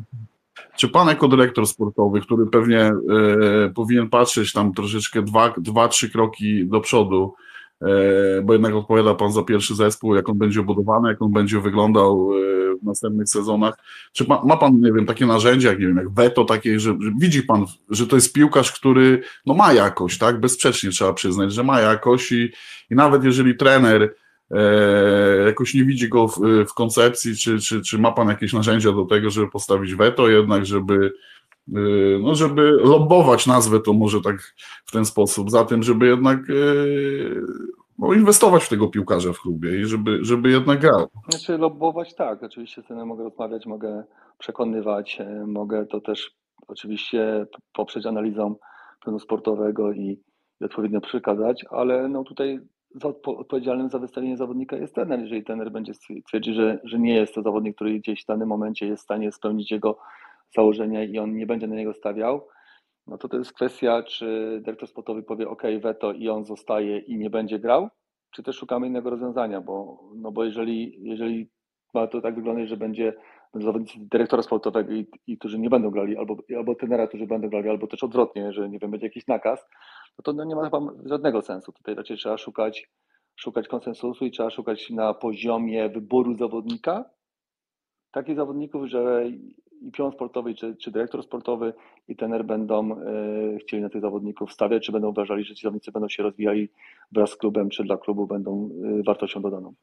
Dobrze, to ja, to ja zadaję pytanie. Zizu, daj mi chwilkę, już mam je powiedzmy, że przygotowane. E, Piotr pyta, czy, czy, czy, czy pan dyrektor myśli dalej o Dawidzie Tkaczu? Jak na razie nie może pokazać pełni swoich możliwości w przeciwieństwie do Klimka. I ja dopowiem od razu co do Klimka. E, Czy pojawiły, czy liczy pan na jakiekolwiek oferty, bądź czy takowe się pojawiły? I czy mamy jakiegokolwiek zawodnika młodzieżowca e, na oku na przyszły sezon? To może zacznę od końca. Tak, mamy. Mm, Co do, co do y, Dawida Tkacza, to rzeczywiście tutaj musimy ten plan zweryfikować, zastanowić się, jaka będzie jego rola w przyszłym, w przyszłym y, sezonie y, i wtedy, wtedy podjąć decyzję, w zależności od tego też, jak będzie wyglądała kwestia młodzieżowca i, i kilka innych sytuacji. Co do Antoniego, no to tutaj mogę powiedzieć całkiem szczerze, nie mamy dzisiaj żadnej oficjalnej, oficjalnej oferty, ale powiedzmy jakieś tam zapytania zaczynają, zaczynają gdzieś tam y, spływać, więc zobaczymy jak będzie Z wyglądała zagranicy czy z Polski? jego sytuacja. Zaczynają spływać zapytania, może w ten sposób zostawię. Okej, a jeżeli chodzi o młodzieżowca, to jest to która liga? Jest pan w stanie zdradzić? Mm, No są to zawodnicy, którzy na poziomie centralnym są już grani. Ale jest pan dyplomatą. A ja dopytam jeszcze o tego młodzieżowca, którego już mamy w drużynie, czyli właśnie Tkacz versus Klimek, bo miałem wrażenie, że jak przychodził e, Tkacz z Klimkiem, to, ten Tkacz jednak pokładane w nim były większe nadzieje w klubie, i pewno wśród kibiców. Natomiast e, wyszło odwrotnie. Zaskoczyło to pana jakoś? Mm, Znaczy myślałem, że, że troszeczkę Dawid, no może ta kontuzja na początku będzie e, więcej, więcej się pokaże, może w ten sposób, bo co do Antoniego, no to on bardzo dobrze wyglądał w Odrze sezon wcześniej, nie grał, bo nie przedłużył kontraktu, tam tutaj różne też sytuacje e, w Opolu nastąpiły, więc ja pamiętałem go jeszcze wcześniej, kiedy chcieliśmy go rok wcześniej też pozyskać, bo był taki moment, kiedy chcieliśmy pozyskać, wtedy Odra dość duże warunki finansowe postawiła. I to jest właśnie też problem właśnie rozwoju tych młodych chłopaków i a propos też młodzieżowców, jeżeli chodzi o te kluby, które te, może czasami zaporowe ceny stawiają. Więc jakby tu co do, co do niego też sam na obozie letnim, jak już byliśmy jeszcze z trenerem Niedźwiedzią, no to Antoni nieźle się pokazywał właśnie w każdym tym sparingu strzelał, strzelał bramki, więc jakby wierzyłem w to, że ten chłopak e, ma ten potencjał i, i będzie, będzie to nieźle wyglądało. E, Dawid jest młodszy, Dawid może potrzebuje trochę więcej czasu, e, więc myślę, że tutaj też jeszcze ma ten, ten moment, żeby, żeby, żeby pokazać się jeszcze z tej, z tej lepszej strony i na to, na to liczę i jestem, wierzę, że, że mu się to uda. Kolejne Jeszcze pytanie. Rozważyli- trzeba zwrócić uwagę, że jeszcze jest, jest Cybulski jeszcze, jest Kwiatek, więc my mamy troszeczkę tych młodzieżowców, które też możemy, jest Krzywański w bramce, więc jakby tutaj jest trochę tych zawodników, których możemy też pokazywać i możemy na nich opierać naszą dalszą grę też jako młodzieżowców. Jeszcze jedno pytanie od- odnośnie Dawida, takie dopytanie Mhm. właściwie. A nie rozważyliście w szerokim y, sztabie szkoleniowym, w pionie sportowym jednak na dziesiątce? Bo mam wrażenie, że, że ta pozycja by była lepsza dla niego, przynajmniej moim okiem. Mm, Tutaj trener, znaczy tutaj gdzieś tam rozmawialiśmy na temat pozycji yy, Dawida. No na pewno też ciężko dzisiaj tą pozycję yy, Dawidowi żyć o dziesiątkę gdzieś yy, zdobyć, więc jakby bardziej prefer, pre- preferowany przez sztab jest jako, jako skrzydłowy i na razie będziemy się tego trzymać. Kolejne pytanie e, od Freda. Co ciekawego powiedział panu e, Sebastian Kerk podczas ostatniej dłuższej pogawędki? Co ciekawego mi powiedział? Powiedział mi, że, że, że bardzo mu zależy na tym, żeby yy, wreszcie dojść w 100% do zdrowia i żeby pokazać swoje umiejętności, które ma bardzo wysokie, na które bardzo wszyscy liczymy i zrobi wszystko, żeby, żeby dojść do pełnej sprawności. Okej, kolejne pytanie. Czy jest pan osobiście zwolennikiem grania trójką z tyłu i dwóch wahadłowych, czy jednak czwórką obrońców? Mm, Jestem taką, takim zestawieniem, jestem zwolennikiem grania, które daje najwięcej perspektywy wygrywania meczów i jest najlepiej skrojony do danego zespołu. Yy, Nie uważam, znaczy nie mam jakby swojego, swojego preferowanego modelu, modelu gry. To jest yy, w zależności od tego, mówię, jaki mamy zespół, jakie mamy piłkarzy, jakie mamy podejście i dzisiaj za to odpowiada trener i, i ten sztab i, i ja nie dyskutuję na ten temat, czy taka, czy inny model jest, jest lepszy. Kolejne pytanie. Po tych pytaniach przeczytanych z czatu dopuścimy chłopaków, e, którzy czekają już od dłuższego czasu. Mercenario pyta, czy dyrektor żałuje, że tak późno doszło do zmiany trenera. Mam na myśli, że nie w przerwie między sezonami. Prawdopodobnie mielibyśmy teraz 7, być może 10 punktów więcej i grali o dużą kasę. Nigdy, to- nigdy to nie wiemy, tak? Więc to, jest spekulowanie, co by było, gdyby e, nastąpiło to w takim momencie, kiedy nastąpiło i, i, i nie będę tego gdzieś tam komentował, bo, no bo nie wiem, co by było, szczerze mówiąc, więc yy, trener Niedźwiedź też zapracował na to, żeby dostać tą szansę, na pewno zapracował na to, żeby dostać zaufanie i tyle, ile klub mógł, mógł mu tego dać, to tyle mu daliśmy. A z perspektywy tej fatalnej rundy jesiennej, tamte, ru- rundy Mhm. wiosennej tamtego sezonu, uważa pan, że jednak to był błąd, że trzeba było jednak zmieniać yy, z końcem sezonu? No, zastanawialiśmy nad tym się bardzo mocno, jednak podjęliśmy wspólnie decyzję, że, że trener Niedźwiedź powinien jeszcze ten zespół poprowadzić. Mm, Okej, mm, już staram się e, dokopać do kolejnego pytania. Mm, może tak, będę szukał tych pytań w międzyczasie. Dopuśćmy Łukasza Bojanowskiego, który czeka tutaj. Łukasz, dobry wieczór. Ja sobie przez ten czas przejrzę czat i chronologicznie postaram się to ustawić. W następnej kolejności będzie Widzewski Chłopak. Dobry wieczór Wam. Dobry wieczór, dobry wieczór wszystkim, dobry wieczór panu. Dobry wieczór. Ja mam takie pytanie, e, panie Tomaszu. Ciężko jest być e, dyrektorem sportowym w takim klubie jak Widzę Łódź? Potem, jak pan odpowie, to ja, ja, ja dokończę, dlaczego zadałem pytanie. Czy ciężko być, tak? W takim, w takim klubie? Tak, czy ciężko, czy ciężko jest być w takim klubie dyrektorem sportowym? Znaczy nie wiem, czy ciężko być dyrektorem sportowym w takim klubie jak Widzew. To jest na pewno duży klub i, i na pewno trochę inaczej się z dyrektorem sportowym w tak dużym klubie, z tak dużymi oczekiwaniami e, i tak dużym zainteresowaniem, jak, jak w mniejszym klubie. Trudno mi, nie, nie, ja nie powiedział, że ciężko. Specyficznie, e, czasami stresująco, e, na pewno bardzo energetycznie, ale nie wiem, czy, czy, czy słowo ciężko jest dobrym słowem na to określenie. Dlaczego dodałem, dlaczego dodałem czy ciężko? Bo pan jako dyrektor sportowy już pełni tą funkcję dwa lata. To jest bodajże koniec, końcówka 21, gdzie przejął pan stanowisko po Łukaszu Stupce, tak? Mhm. To było, to było w tym, tym okresie. W tym, w tym okresie czasu zostało od, już mówię od stycznia, w sensie od, od wiosennego okienka, 29 transferów zrobiliście. To różnych transferów zrobiliście. W tym samym czasie tak samo odeszło z tych zawodników, z tych 29 zawodników, odeszło 10 zawodników już. Czyli można powiedzieć, że 19 pozostało, pozostało w drużynie. Dlaczego pytam, czy ciężko? Bo przez te dwa lata y, zmienił się już u pana, to już jest chyba bodajże trzeci, trzeci prezes w tym momencie. No i jeden prezes, można tak powiedzieć, że robił też sobie, on robił, on decydował o transferach, bo został ściągnięty Bartek Pawłowski, bo został ściągnięty Sypek, jeszcze chyba, nie, nie, pamiętam czy jeszcze ktoś. Dlatego, dlatego pytam, czy, czy jest to ciężko, bo w obecnej sytuacji teraz jest pan Szymański, który pełni taką funkcję mm, niby wiceprezes, ale to jest osoba, która ma taką pieczę nad sportem, jak się, jak się dobrze nie mylę, tak? Mhm. Maciej Szymański. Dlatego, dlatego pytam, czy jest to ciężko, czy ma Pan jakąś decyzyjność w tym, w tym, co Pan robi, no bo no tak, ja to tak widzę przez te dwa lata, jak tak wygląda. Mógłby się Pan do tego odnieść? Mm, Mogę się oczywiście odnieść. E, To jest powiedzmy mój drugi prezes, jak jestem dyrektorem sportowym, bo, bo wcześniej byłem dyrektorem scoutingu. E, Z Mateuszem Drużem e, nie, nie, nie powiedziałbym, że, że, że Mateusz Druż czy prezes Druż robił e, samodzielnie transfery. Oczywiście może był przy tym aktywny, ale to, to, to trudno powiedzieć, że robił coś, coś jednoosobowo czy samodzielnie, bo jednak to, te spotkania i te decyzje były wspólne.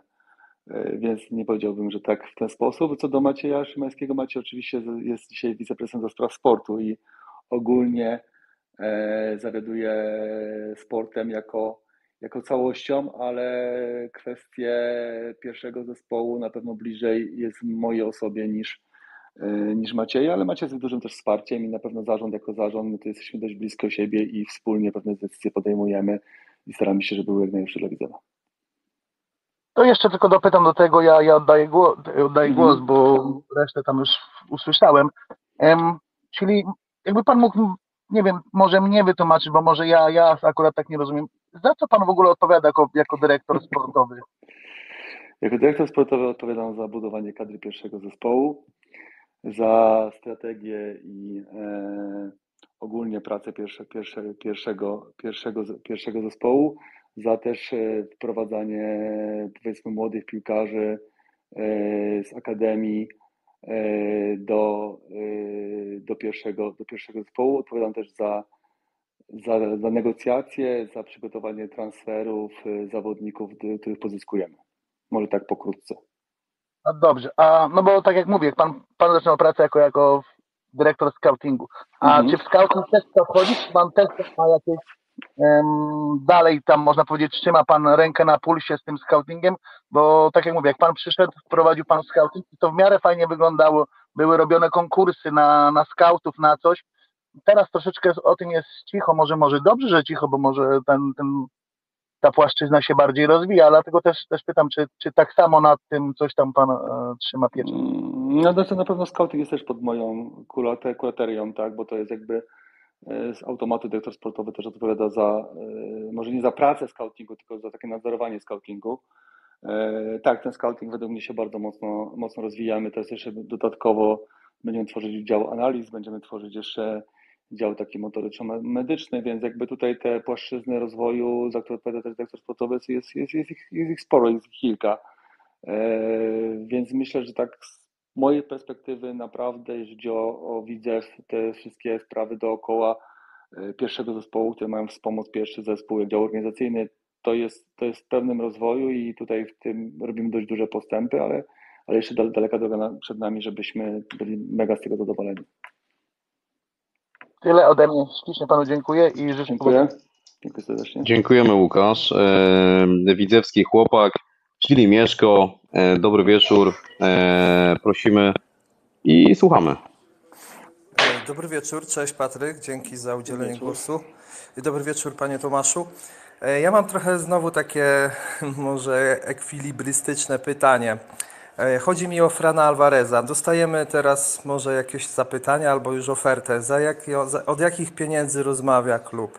Wiem, że może trudno, żeby od razu tak w media to poszło, ale coś już było w mediach, tak? Że jakiś Espaniol coś tam się przewijało, tak? To na razie są tylko spekulacje me- medialne. Spekulacje. medialne i jakby... Tomaszu, ale pan rzuci coś w końcu takiego, czego nie ma nigdzie. Ty- Ale, ale znaczy jak, jak chcecie, to mogę rzucać, nie wiem, czym, czym, Znaczy nie, nie kłamstwami, nie kłamstwami. I nie Sama prawda. albo, albo mówię, mogę mówić prawdę, a mogę, mogę rzucać, mogę nie wiem, powiedzieć, że przed, jak nie dostaniemy 5 milionów, to, to w ogóle nie rozmawiamy. Oczywiście jest to żart, E, nie mamy żadnej, e, żadnej konkretnej oferty, więc e, są jakieś oczywiście tam gdzieś zapytania, ale żadne, żadne nie wpłynęły. Są trochę medialne bardziej moim zdaniem niż, niż prawdziwe, trochę, trochę też od strony agentów, ale rzeczywiście jest zainteresowanie, ale nie mówimy o kwotach, bo te kwoty jeszcze do nas nie wpłynęły. No. To jest tak, że, że, że sprzedaliśmy tego zawodnika za jakąś tam powiedzmy kwotę i, i fajnie i w tym, w tym byśmy chcieli operować, zobaczymy czy to będzie nam dane. No tutaj to też zależy, to rynek też pewne rzeczy kształtuje. Okej, tylko chodzi o jedną rzecz, bo no jednak jakby, jakby nie patrzeć, no to Fran Alvarez jest dzisiaj, no powiedzmy, no chyba najlepszym za naszym zawodnikiem i, i, i jest bardzo, bardzo wartościowy tutaj, jeśli chodzi o grę. E, Także no tylko tak zadałem takie pytanie, w jakich tutaj realiach się możemy mm, jak gdyby poruszać. E, Ale okej, rozumiem, że pan nie chce tutaj podać żadnych Znaczy takich... nawet, nawet nie mogę, bo nie mam tych, nie, nie mam tych reali, tak? Nie dostałem żadnego konkretnego zapytania. Mówię, gdzieś e, tutaj też rynek kształtuje pewne rzeczy. To jest tak, że jeżeli będą konkretne oferty, każde ko- konkretne zapytanie, to musimy zwrócić uwagę też, że zawodnik w tym wszystkim jest i klub e, ma pewne też możliwości, oczekiwania. Też jesteśmy w stanie wtedy zobaczyć, czy jesteśmy zabezpieczyć w stanie tą, tą pozycję, na jakim poziomie. E, Każde pieniądze, które wpływają z takich e, działań, idą na pierwszy zespół, więc dają też możliwości rozwoju tego, tego zespołu i tutaj wtedy się siada i się na ten temat dyskutuje. No, jeżeli będą takie oferty, to będziemy je, e, je rozważać. Oczywiście dzisiaj Fran jest jednym z naszych e, czołowych, wiodących zawodników i się bardzo z tego cieszymy i to nie jest tak, że dzisiaj szukamy, nie wiem, kupca na niego. Jasne, świe- świetnie właśnie i i super, że, że udało się pozyskać takiego zawodnika, bo naprawdę, naprawdę wszyscy to widzimy, że to jest naprawdę wartość dodana bardzo. W lidze bardzo wyróżniający się zawodnik. Wydaje mi się, że jeśli chodzi o środkowych pomocników, to jest to powiedzmy nawet top 5, top 3 nawet. Ale no i właśnie dlatego o to zapytałem, ponieważ no, chciałbym wiedzieć, czy, czy, czy, czy wy jako klub, jako y, sztab tutaj zarządcy cenicie go wysoko i że naprawdę no, nie, nie, nie, nie puścimy go po prostu za pierwszą lepszą ofertę, tak? Ale no okej, rozumiem, że pan nie chce na to odpowiedzieć. Nie, E, nie, Drugie moje puścimy, nie, pytanie. puścimy, nie puścimy go za pierwszą lepszą ofertę na pewno. No właśnie. Bo każda bo- pierwsza lepsza jest mała. No dokładnie, bo kup, kup, kupujący, ku- kupiec chce kupić jak najtaniej, proste, nie? Trzeba mieć jakieś tam swoje już granice, nie? Ale to już wiadomo, każdy o tym e, to wie. Chciałem jeszcze tylko zapytać o jedną rzecz. Jak pan, panie Tomaszu, postrzega formę zespołu w ostatnich meczach? Bo e, i szczególnie tutaj w tym meczu właśnie naszym przyjaźni w sobotę. Wczoraj właśnie udało mi się obejrzeć w końcu ten mecz w telewizji.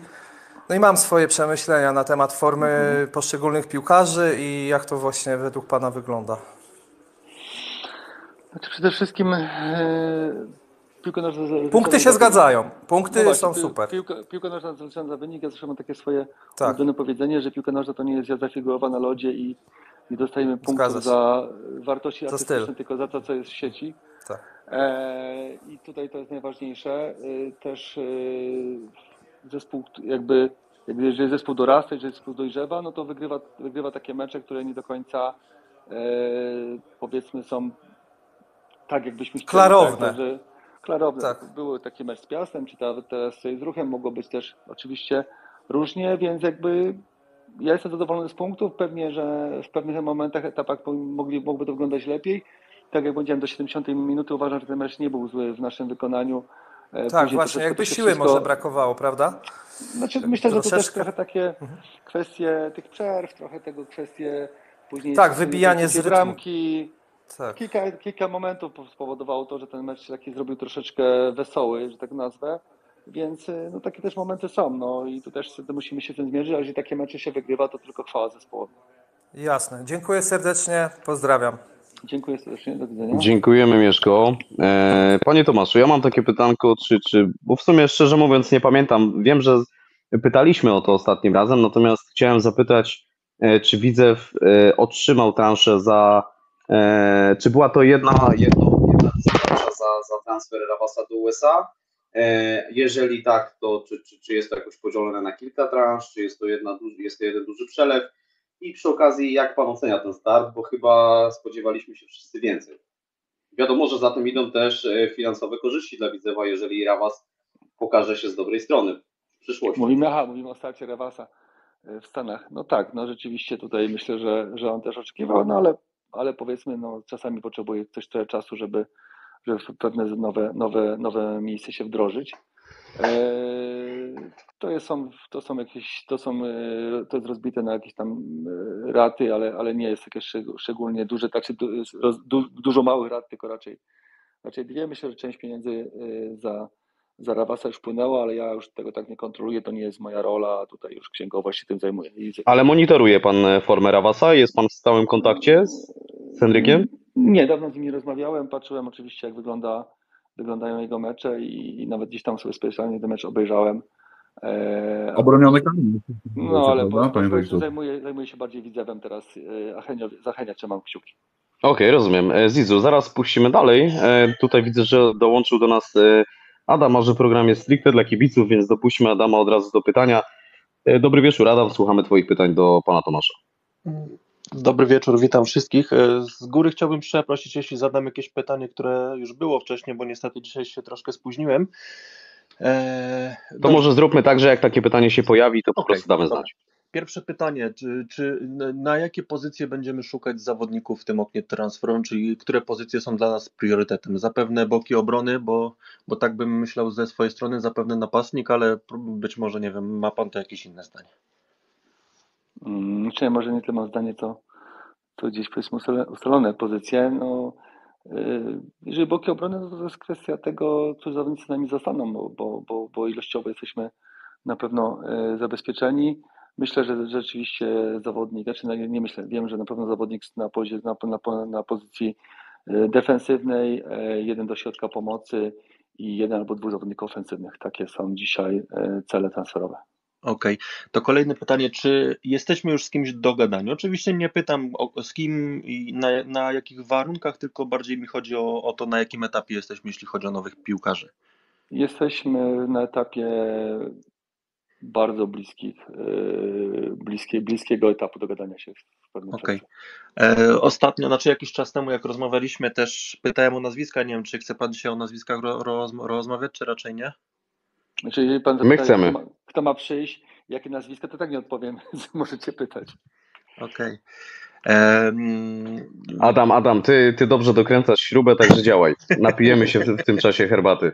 Proszę Nie, bardzo. no, do, dobra, to wie pan co, ja sobie tak, bo, bo, bo też nie byłem przygotowany, więc sobie na Mhm. szybko otworzę, otworzę listę. Nikt ci w to nie uwierzy. E, Nie, akurat mówię, dzisiaj, dzisiaj nie jestem przygotowany, tak troszkę z- do skoku jestem, ale mm, Pamiętam kiedyś był taki temat piłkarza, który, który aktualnie jest bez kontraktu, Polak, nie pamiętam jak on się nazywa, napastnik, kiedyś grał w Legii, później grał w Stanach i teraz, e, teraz le, leczy kontuzję. E, Niezgoda. drugi- O, niezgoda, właśnie, Drugie, właśnie. drugie zerwane. Pytanie właśnie, czy, czy, czy jest to piłkarz, którego by pan chciał mieć w zespole? Nie mam żadnego pojęcia, w jakiej jest teraz formie. Ale czy e, gdyby... gdyby... Nie, nie, nie mam, znaczy nie, trudno mi powiedzieć, no bo Mhm. ja, ja oceniam piłkarzy nie po, po tym, jak grali kiedyś w piłkę, tylko jak, Mhm. jakie dzisiaj są szanse, że oni będą naszym wzmocnieniem. No. Mhm. Tak muszę na to, na to spojrzeć, jeżeli jestem w stanie to określić, bo inaczej może nie ja osobiście, tylko powiedzmy y, dział scoutingu plus ja, plus sztab jesteśmy w stanie określić, czy, czy ten zawodnik jest w stanie nam dzisiaj pomóc i w jakiej jest formie, to możemy o tym rozmawiać. No, jeżeli zawodnik przez tak długi okres czasu nie gra w piłkę, no to jest bardzo trudny, trudny temat. To nie mamy pewności, że to jest dla nas wzmocnienie. Czyli rozumiem, że ża- żadnego zainteresowania po stronie klubu nie, nie, nie było, tak? Powiedzmy, był pewien moment, kiedy, kiedy myśleliśmy, ale. No właśnie kolej- wydawało mi się kolejne- zimą. Zimą, Kolejne, że chyba... tak, kolejne, się kolejne kontuzje, kontuzje i powodują, że raczej ten Okej. temat dla nas jest trudny. To ja może nie będę tak pytać za bardzo o nazwiska. Mam, mam dwóch takich, o których może, może Mhm. bym chciał zapytać. Karol Angielski, Znamy zawodnika, tak. znam. Okej. E, i Drugie pytanie jest taki chłopak tutaj z okolic Łodzi, Tomasz Makowski. Właśnie też mu się kończy kontrakt. I fajny, fajny wiek, fajny chłopak, e, dość młody, troszkę pograł. Py- Pytanie, czy to też jest taki piłkarz, który. Znaczy, tak jak mówiłem wcześniej, my właściwie każdego zawodnika z Polski, któremu się kończy kontrakt, mocno monitorujemy i zastanawiamy się nad ich przydatnością do Widzewa i e, Każdy, tutaj czyli, czyli i Krychowiak, i Klich? Znaczy ka każdemu, który kończy, kończy kontrakt z Polski, który grają powiedzmy, no i są w pewnym profilu, tak? Bo, bo tutaj też mamy pewne profile na daną pozycję, między innymi też wiekowe, ale też pewnych, pewnych e, zachowań, które, które tych oczekujemy, więc yy, Tomka Makowskiego e, gdzieś znamy, ma, jest gdzieś tam na jakichś szerokich naszych listach, ale, ale tak jak większość piłkarzy, którym się kończy kontrakt z Polskiej Ligi. Dobra, to ostatnie pytanie, bo tam z, z, z pieniędzy z Zarawasa jeszcze, jeszcze troszeczkę zostało i pytanie, czy, Hmm, e, czy w jakim, w jakim stopniu spożytkujemy te pieniądze na transfery gotówkowe w tym oknie. Znaczy powiem w ten sposób, no, y, my mamy z założenia, jeżeli pieniądze zostaną, y, tak jak Zarawasa, wyszły z pierwszego zespołu, to one wracają do pierwszego zespołu, to znaczy do, do pionu sportowego, powiedzmy do, do rozwoju y, pierwszego zespołu, czy też ogólnie y, piłki nożnej y, w Widzewie w różnych formach, więc jak najbardziej te pieniądze na pewno będą wykorzystywane, wykorzystywane. Czy to będzie transfer gotówkowy, czy też nie, to też, nie, to też tak nie do końca działa. Jest, jest pewna pula pieniędzy, które możemy przeznaczyć i może się okazać, że nie będzie to transfer gotówkowy, ale apanaże zawodnika albo to, że przyszedł do nas teoretycznie za darmo, czy jakieś kwestie podpisów, nie podpisów są takie, że można by to e, ubrać w, w transfer gotówkowy. Po prostu mm, możecie być pewni, że pieniądze, które, które wpływają do klubu, chociażby za Rawasa, są będą wykorzystywane na potrzeby pierwszego zespołu, czy wzmocnienie pierwszego zespołu. Mhm. Okej, to jeszcze jedno takie pytanie, e, bo też e, jednym z piłkarzy, którym się interesowaliście zimą był Dinko Horkas i też jemu się kończy teraz kontrakt. E, Pytanie, czy w ogóle jest jakaś, e, bo o, o, oczywiście jeśli chodzi o bramkę, jesteśmy teraz za, za, zabezpieczeni, super zadowoleni z formy, jaką prezentuje Giki, ale e, czy w ogóle mm, będzie poruszany temat bram, bramkarza e, latem? Mm, To zależy od tego sytuacji, jak będzie sytuacja wyglądała z Łukaszem. Z Łukaszem Gikie, z Łukaszem, Znaczy, no strona, znaczy Maria. jest po naszej stronie, tak? Z Rafałem, z Rafałem Gikiewiczem, jak będzie wyglądała sytuacja i e, będziemy wtedy podejmować decyzje.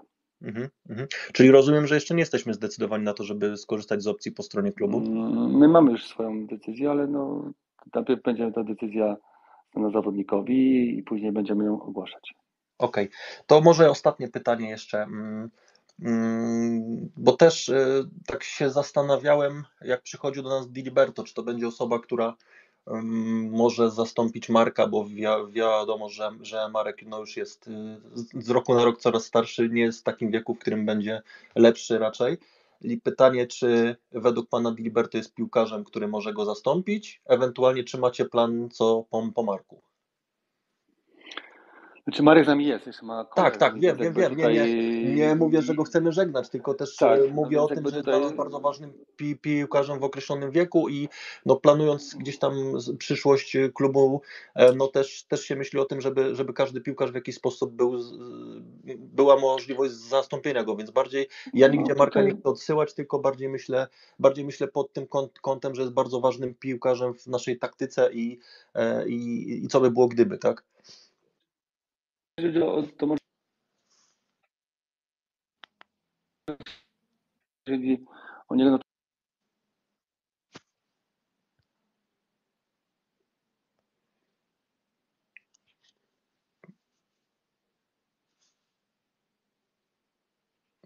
Nie wiem, coś mi bardzo przerywa, nie wiem czy u was. To nie wiem, czy to nie wiem, czy to u mnie problem, czy u pana Tomasza, bo ja. U pana ja Tomasza nie, chyba, bo ja też właśnie nic nie słyszę.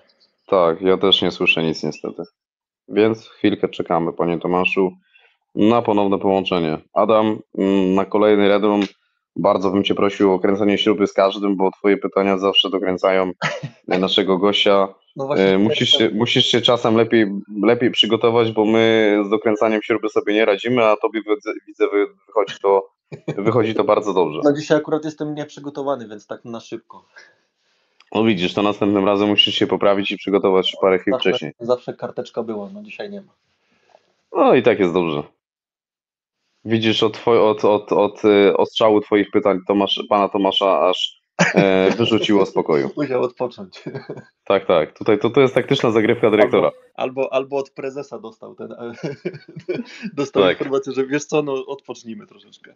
E, Czekamy na chwilowe e, Tak, zakłócenia. Tak, tak. I zaraz będziemy kontynuować. Ogólnie, generalnie, ja mogę tylko ze swojej strony powiedzieć, że dziękujemy Wam. E, Znaczy, nie kończymy jeszcze pokoju, mam nadzieję, e, ale, ale dziękuję wam, dziękujemy Wam za, za dużą e, wizytację dzisiejszego pokoju, bo w pewnym momencie było nas 140 osób na żywo. Myślę, że to jest świetne, świetna liczba. E, Mogę powiedzieć nieskromnie i pewnie ze mną się zgodzić, że to są chyba e, wśród e, podcastów widzewskich największe liczby. Być może nie każdy pokój wykręca takie, ale jednak mimo wszystko, jak na tak krótki okres działania, radzimy sobie bardzo dobrze i to w sumie wszystko dzięki, dzięki Wam. I to tyle. Dziękujemy i, i mam nadzieję, że, że kolejne pokoje będą tylko potwierdzeniem tych liczb, ale również i e, goście będą coraz, e, coraz ciekawsi, chociaż myślę, że, że mimo wszystko gdzieś tam poniżej pewnego poziomu e, nie schodzimy i staramy się zapraszać e, gości takich, którzy w danym momencie, że tak powiem, są chciani przez lud. No ja Patryk, super, super, naprawdę super prowadzicie. Razem z Zizu muszę to powiedzieć, że naprawdę świetnie. Merytoryka 100% i, i jesteście lubiani i klub chce z wami rozmawiać, jak nie ze wszystkimi mediami. Ja myślę, że dla nas w aktualnym czasie to też ważny temat akademii, tak? Więc tutaj, tutaj myślę, że moglibyście zrobić jakiś pokój, żebyśmy mogli też sobie na ten temat szerzej porozmawiać. Mówisz tutaj o panu Szymańskim, tak? Czy Tak, o kim tak. teraz? Halo? Albo o panu, Halo? O panu, Halo, o panu teraz? prezesie, tak? Albo o panu właśnie. Halo, halo, panie. Panie, panie dyrektorze. Poczekajcie chwilę, panie. Słychać mnie teraz? Halo? Tak, Jest tak, pan? jest. Tak? tak. Tak? No to ja, ja was słyszałem, ale niestety nie mogłem się... Panie, panie Tomaszu, musiał pan zrobić przerwę od tego natłoku pytania do Adama, niech pan powie. Nie, nie, spokojnie, nie. Ja akurat- Okej, dobra, to, to, to, Nie, nie mam problemu żadnych. ale przecież żartuję, to, to Ja tylko wiem. tak wie pan, żeby rozluźnić atmosferę. Ja nie- E, Adam, powtórz jeszcze raz to pytanie, bo nie wiem, czy pan, Znaczy, pan e, nie było pana słychać, pana strasznie zacinało. Tak, pan Tomasz zaczął No, odpowiadać, okej. więc myślę, że chyba zrozumiał pytanie. Y, Tylko teraz mówimy o Diliberto, tak? Co, O Diliberto i o, tym, i o tym, co po Marku. Co po Marku? No to sytuacja, jeżeli do Diliberto, no to, to dzisiaj jeszcze jest kwestia określenia jego roli e, w zespole, no bo, bo dzisiaj został zakontraktowany zimą, czasami ci zawodnicy potrzebują więcej czasu, żeby, żeby się zaadoptować do warunków, do modelu gry i do oczekiwań. E, A co po Marku? No, no Marek, e, tak jak powiedziałem, ma z nami kontakt podpisany. Jeszcze w przyszłym sezonie na pewno jest naszym zawodnikiem, a jak będzie później, to oczywiście życie pokaże. My przygotowujemy się do, do wariantów takiego, żeby, żeby go wes- wesprzeć e, jego rolę w zespole i tutaj na pewno, jeżeli będzie taka potrzeba, tutaj ta, ta, ta pozycja też będzie, zostanie do, wzmocniona co do rywalizacji. To może jeszcze jedno tak na szybko mi przyszło. E, Czy doszły jakieś nowe kraje e, do tych, które obserwowaliśmy wcześniej, czyli czy gdzieś poszerzyliśmy e, poszerzyliśmy swój scouting o jakieś obszary, których nie Mm. skautowaliśmy wcześniej, a które są mm, dla nas y, coraz ciekawsze. To są, to, ja was nie słyszę niestety. Halo? Hmm, my się słyszymy. Halo, halo. No, Tak, ja słyszę Ciebie. Pana Tomasza muszę tutaj e, mm. na chwilę usunąć, zaprosić. Adam, wydaje mi się, że Zanzibar i Pekin jest dołączony. Nie, bardziej może, może, może nas tutaj, może nas didosują tutaj z zagranicy, jakiś, jakaś Rosja albo jacyś, op, opozycja, opozycja nas atakuje. Wrogie siły. Gwiezdne wojny, tak zwane widzewskie. Nie, no zaraz pewnie Zizu miał też tutaj problem z połączeniem się z pokojem wcześniej, także myślę, że e, może jakaś kwestia techniczna, a pewnie czegoś tutaj Elon Musk nie, do, nie dopatrzył, nie dopracował i trzeba się z nim skontaktować, aby to funkcjonowało lepiej. Już jest pan Tomek chyba to. Tak Nie widzę, nie widzę, nie widzę. A jest faktycznie, dobra, okej, znalazłem. E, ogólnie, jeżeli jak, jak Adam skończy zadać halo, pytanie, to proszę słuchajcie ci teraz? Zizu, bo chcę zadać pytanie, a na pewno je zapomnę, także e, jak już A Adam... mogę, e, mogę, ty, mogę tylko ja dokończyć to, bo też chciałem kontynuować jedno pytanie z tymi, z, jak one się nazywają? Transferami po prostu. Mm. Panie Tomaszu, czy my się Tak. słyszymy? Ja słyszę. Okej, to tutaj e, złowrogie siły e, nas atakują, ale e, poradzimy sobie, także kontynuujmy. Nie damy. Tak, Adam, Adam, pan Tomasz i potem Łukasz i zadam pytanie i będziemy kontynuować dalej. Okej, to Okej. y, Panie Tomaszu, nie wiem, czy Pan słyszał to moje ostatnie pytanie, czy o nowe rynki, które obserwujemy, czy są jakieś y, kolejne kraje, które nas interesują, jeśli chodzi o zawodników. Wcześniej pytałem o tą Amerykę Południową dawniej i pytanie, czy gdzieś tam y, są jakieś takie, y, takie kraje, których nie obserwowaliśmy wcześniej, a są dla nas coraz bardziej interesujące. Czy staramy się wszystkim pokazywać kraje, gdzie możemy pojechać na żywo obejrzeć zawodnika, więc jakby Ameryka Południowa dzisiaj jest dla nas na pewno trudno. Mhm. Tam raczej bazujemy na informacjach i jeżeli te informacje na nas wpływają pozytywne, to wtedy robimy obserwa- obserwacje, ale tutaj raczej na platformach scoutingowych.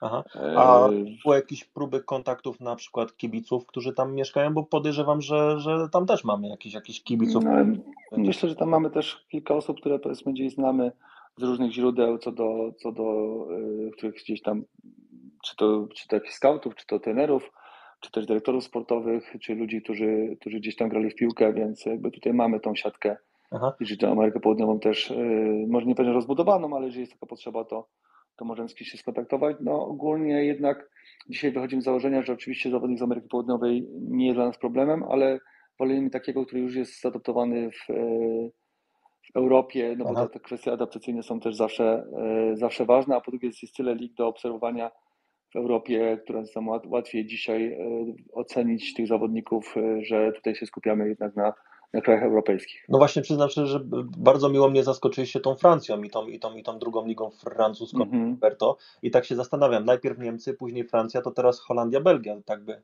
tak by pasowało. Mm, ale to już obserwujemy też te, te, te, Tak, te ale- ligi, więc Ale chodzi, ale chodzi o piłkarzy, którzy do nas przyjdą. No tak, no, no to, to, to, też, to też oczywiście zobaczymy, jak będzie możliwość pozyskania tych zawodników, bo to, to są też różne uwarunkowania. No Belgia bardzo ciekawy kierunek, bardzo dużo talentów, więc myślę, Hol Holandia też zresztą, więc, więc kto wie, może, może jest to też, też dobra droga. No zobaczymy, czy, czy to jest zawodników z tych, z tych lig. Okej, dziękuję bardzo, wracam do, Dziękuję. do usłyszenia. Może, może, może jeszcze dzisiaj się odezwę. Dobra, dziękujemy. Bo Janek, Bojanek, Janek jeszcze zadać, to pytanko, zadałem.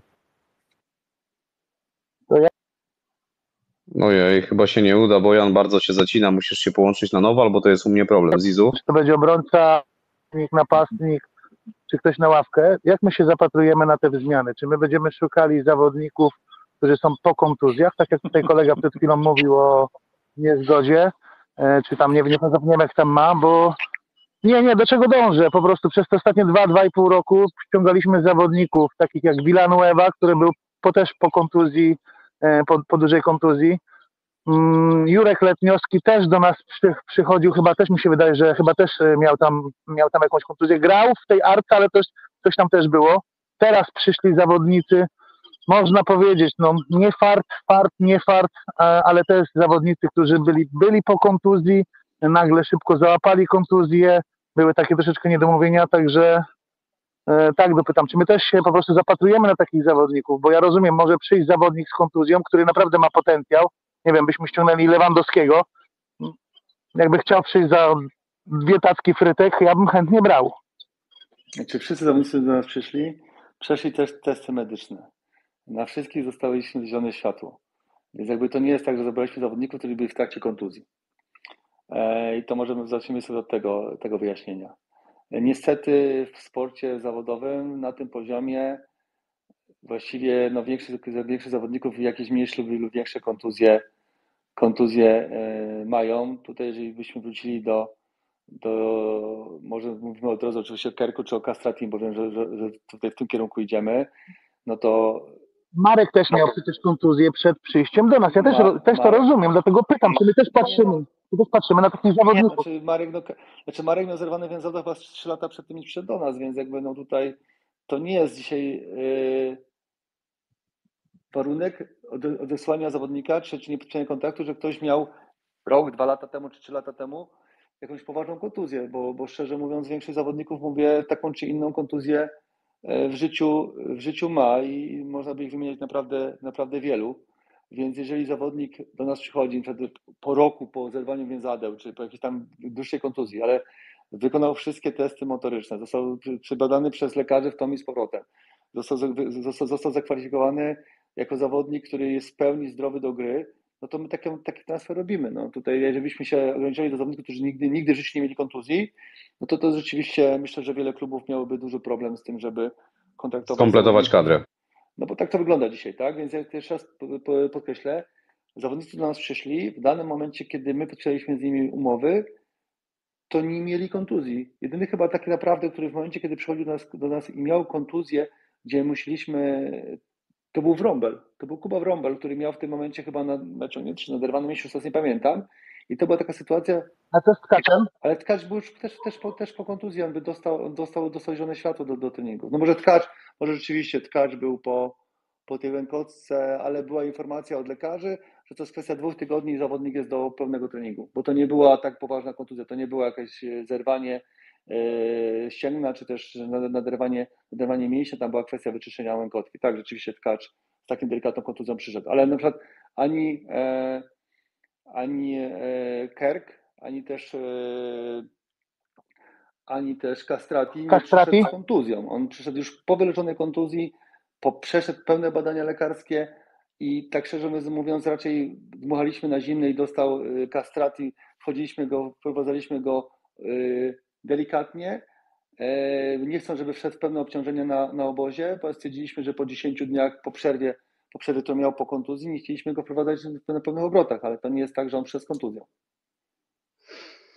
E, Dobrze, to nie wiem, czy mnie pan teraz, panie Tomaszu, słyszy. Ja mam takie Słyszę, pytanko słyszę. od dłuższego czasu. E, Jest pan dyrektorem sportowym klubu, którego e, kibice, jak pan zapewne się domyśla, są głodni sukcesu. E, I, i wierzę i zakładam, że mimo tego funkcjonowania w pewnym ograniczonym budżecie, jak na, jak na duży klub sportowy, e, wierzę w to, że ma pan możliwości, aby ukierunkować zespół mimo tej dobrej pozycji, mówię o, o, o teraźniejszości, o określeniu jakiegoś celu sportowego na przyszły sezon. I teraz załóżmy, że, że kończymy ten, ten sezon na powiedzmy ósmym, siódmym miejscu, prawda? Mhm.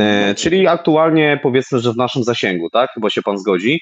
Mhm. E, i, I załóżmy, że taka pozycja jest bardzo dobrym wynikiem, e, satysfakcjonującym i teraz pewne możliwości się otwierają na przyszły sezon, e, gdzieś te finanse z racji wyższej pozycji są ciutkę lepsze. E, Jest pan dyrektorem sportowym, w którym kierunku pan chce iść? Chciałbym, żeby pan podpowiedział e, tak, może nie do końca dyplomatycznie, aczkolwiek dam panu taką opcję. E, Czyli tak, e, odpowiedź A, czy walczymy o to przejść i uważa pan, że ta drużyna po odpowiednich wzmocnieniach jest w stanie powalczyć o taką pozycję? Nie mówię tutaj o pierwszym miejscu, ale chociażby o to przejść, czyli nie wiem, miejsce szóste, piąte. E, Czy stabilizujemy zespół, robimy wzmocnienia na tyle, aby ta drużyna się ustabilizowała w środku tabeli i ewentualnie powalczyła o ciut lepszą pozycję niż dzisiaj, niż ten sezon? Czy dyplomatycznie walczymy o jak najlepszą pozycję? Znaczy, zawsze przed rozpoczęciem sezonu każdy walczy o mistrzostwo. I taka jest rola każdego zespołu. Yy, Więc trudno odbierać komukolwiek tą szansę. Yy, Ja bym chciał, żeby zespół znowu zrobił kolejny postęp, czyli jeżeli e, zdobędziemy wiem, siódme, ósme, no to liczymy na, na to, że zdobędziemy znowu 3-4 punkty więcej i zobaczymy, które nam to da miejsce. Realnie patrząc, jesteśmy w stanie być zespołem, który będzie mocnym zespołem środka, środka tabeli, ale to nie znaczy, że nie możemy być na miejscu szóstym, ale nie możemy być też na miejscu wyższym, ale też możemy być na miejscu ósmym, bo czasami tak to będzie wyglądało. Więc jeżeli my będziemy systematycznie wzmacniać zespół i będziemy go rozwijać, to jak widzimy dzisiaj, po awansie dość szybko jednak mimo wszystko po awansie do pierwszej ligi zrobiliśmy awans do klasy. Następnie zakończyliśmy chyba na 12 miejscu. Dzisiaj jesteśmy na miejscu ósmym i, maim- i będziemy o to walczyć, żeby na tym miejscu zostać, może nawet zrobić trochę, trochę lepsze. Więc chcąc się rozwijać, chcemy też zdobywać następne, następne miejsca, ale to też trudno dzisiaj określić, czy ten zespół będzie stać na to, żeby być szóstym, czy, czy też będzie siódmym czy ósmym, bo to tak szczerze mówiąc nie, nie, do końca będzie wynikało z tego, czy ktoś będzie dzisiaj lepszy, może być lepszym zespołem, a mieć ciut gorsze przed miejsce, a zrobić przed więcej punktów, bo to też tak może być. Więc moim, moje, moje zdanie jest Tak, takie, generalnie że jak rozpoczynamy sezon, to każdy zespół walczy o mistrzostwo. No tak, Jerzy Engel też jechał po Mistrzostwo Świata, kiedyś No. wiadomo. A jak pan globalnie, globalnie, globalnie postrzega tą ligę? Bo ja mam wrażenie, nawet patrząc na te dwa ostatnie sezony, jak niewiele brakuje takiemu klubowi jak Śląsk czy, czy Jagiellonia Białystok, żeby z outsidera, który, że tak powiem, e, psim swędem utrzymał się w ekstraklasie, brzydko, dzisiaj tu są kluby, które jeden może być mistrzem Polski, a drugi reprezentować nas w europejskich pucharach. Jak pan na to patrzy w no, właśnie ogóle? taka liga, dlatego mówię, że tu trudno określić też, które się miejsce gdzieś do końca zdobędzie, bo ani Jagiellonia, ani Śląsk, szczególnie Śląsk chyba szczególnie się nie wzmocniły przed e, Nawet osłabiły. No Więc dlatego, to, dlatego tak? też mówię, że tutaj może być pewne, bardziej chodzi o progres, taki wewnętrzny progres, czy, czy my uważamy, że zrobiliśmy progres, czy uważamy, że zespół wzmocniliśmy, czy daliśmy więcej możliwości rywalizacji e, na dane pozycje, czy też e, daliśmy lepsze warunki pracy e, i serwis te, tenerowi, czy powiedzmy sztabowi i zawodnikom. No bo to dla nas jest jakiś też progres. Nie zawsze ten wynik sportowy jest jedynym odzwierciedleniem to, czy, czy klub robi progres, czy też nie, bo jak patrząc na widzew, no to jak ja przychodziłem 3 czy 4 czy 3,5 roku temu, a dzisiaj, no to jesteśmy olbrzymią progres zrobiliśmy, jak jako klub w ogóle, nie tylko jako pierwszy zespół. Przepaść, przepaść, ale czy progresem też może być, panie Tomku, na przykład to, że jak będziemy oglądali grę Widzewa, e, bo przyznam szczerze, no jestem, jestem zadowolony z tej rundy, zgrzeszyłbym, gdybym powiedział, że nie, ale nie było takiego meczu jednego, który bym powiedział, że mieliśmy pod pełną kontrolą, że nawet przez minutę nie drżałem o wynik tego meczu. Czy progresem też może być to, że my będziemy bardziej potrafili kontrolować te mecze? Dzięki jakości oczywiście większej w drużynie. No myślę, że tak, tak jakby raz, że kontrolować jeszcze bardziej oczywiście poprzez jakość zespołu e, te, te mecze, choć myślę, że były takie mecze, gdzie mieliśmy ten, tą, tą, tą, e, tą dominację taką, że nie, że nie, nie obawialiśmy się o wynik, ale to już powiedzmy okej, każdy ma swoją gdzieś percepcję, ale dwa to też tak jak Tak, jaki mecz pan No, za- za to taki mecz uważa, że była pełna u siebie taki, to, to chociażby taki, którym pierwszy przychodzi do, e, do głowy. No myślę, że było kilka meczów, musimy spojrzeć po prostu, ale takich, że nawet nie wynikowo, może jakieś strasznie wysokie zwycięstwa, ale takie, że, że, że czuło się, że my jesteśmy zespołem, który, który po prostu dominuje i jest mocniejszy. E, Dobra, nie rozumiem. No, E, Dekra G jest Nie, nie, najpierw, najpierw w pierwszej kolejności był Teko. też sytuacja jest taka, że też takie mecze, na przykład jak z Piastem, czy kilka innych meczów, na przykład z Ruchem, czyli to też świadczy o sile zespołu, to takie mocniejsze zespołu, że nawet jeżeli ten mecz nie do końca jest pod kontrolą, czy nie do końca e, widać tą dominację, to też takie mecze po prostu potrafimy wygrywać i to też świadczy o tym, że zespół się rozwija i jest, jest mocniejszy i te, w takim na- na ważnym, ważnym momencie potrafi ten, ten przechylić tą szalę zwycięstwa na swoją korzyść. Dobrze, dopuśćmy teraz e, No to- kolejnych e, słuchaczy, którzy mają pytanie. Najpierw Teka, później Dekra i w kolejności następnej przeczytam parę pytań i myślę, że powoli będziemy się zbliżać do 22.30. Dobry wieczór Teka, słuchamy.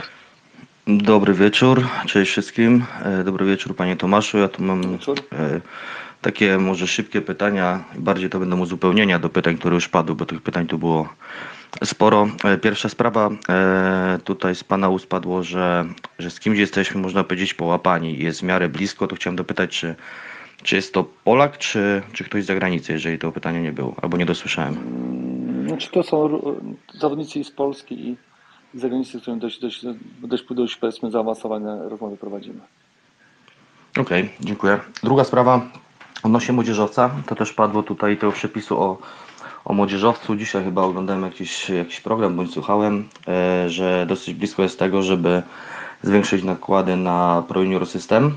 I tutaj jest pytanie, czy na trenera myśliwca m, będzie nałożony tak jakby taki trochę musik w kwestii rozwoju klubu, że nawet jeżeli ten przepis zostanie wycofany, to to czy będzie, będzie jakiś musik wystawiania tych, tych młodych chłopaków, rozwijania e, tych młodszych zawodników tutaj u nas, u nas w Widzewie? Znaczy w klubu jest, jest, taka, jest też taka, takie założenie, że będziemy rozwijać klub poprzez rozwijanie młodych piłkarzy, przygotowanie ich do ewentualnej dalszej kariery poza Widzewem, czyli po prostu sprzedaży, bo to jest też jeden z elementów, gdzie my możemy pozyskiwać pieniądze na rozwój, na rozwój zespołu i zdobywanie później laurów i to jest jakby jasno powiedziane. Okej, bo tutaj troszkę taka moja obawa jest pewnie też, też większej ilości osób, że jak ten przepis i też innych klubów, jak ten przepis zostanie wycofany, to nagle staniemy się ligą emerytów, ale, no, ale jeżeli to będzie kontynuowane, to jak najbardziej okej. I trzecie takie py- Mhm. pytanie, może, może taki też e, kamyczek do ogródka. E, czy jest planowany jakiś rozwój bądź zmiana tego, jak młodzi zawodnicy z Widzewa są wypożyczani, jak planowana jest ich kariera? Chodzi mi tutaj głównie o wypożyczenia i myślę, że tutaj takim wzorem do naśladowania może być e, dobrze panu znany Lech, bo wydaje mi się, że my wypożyczamy, ogrywamy troszkę zawodników, e, którym kończą się, można powiedzieć, kontrakty i troszkę ich wypychamy z tego, z tego Widzewa. Mamy takich zawodników, no nie wiem, chociażby jak Cybulski, Kwiatkowski, nawet Tkacz, chociaż teraz rozumiem, że tak jakby to zaplecze musi być, e, którzy pewnie mogliby się ogrywać troszkę niżej, ale ale te minuty łapać. I w sumie na tym, na tym skończył. Dziękuję. Powodzenia i już nie zajmuję tutaj czasu, miejsca.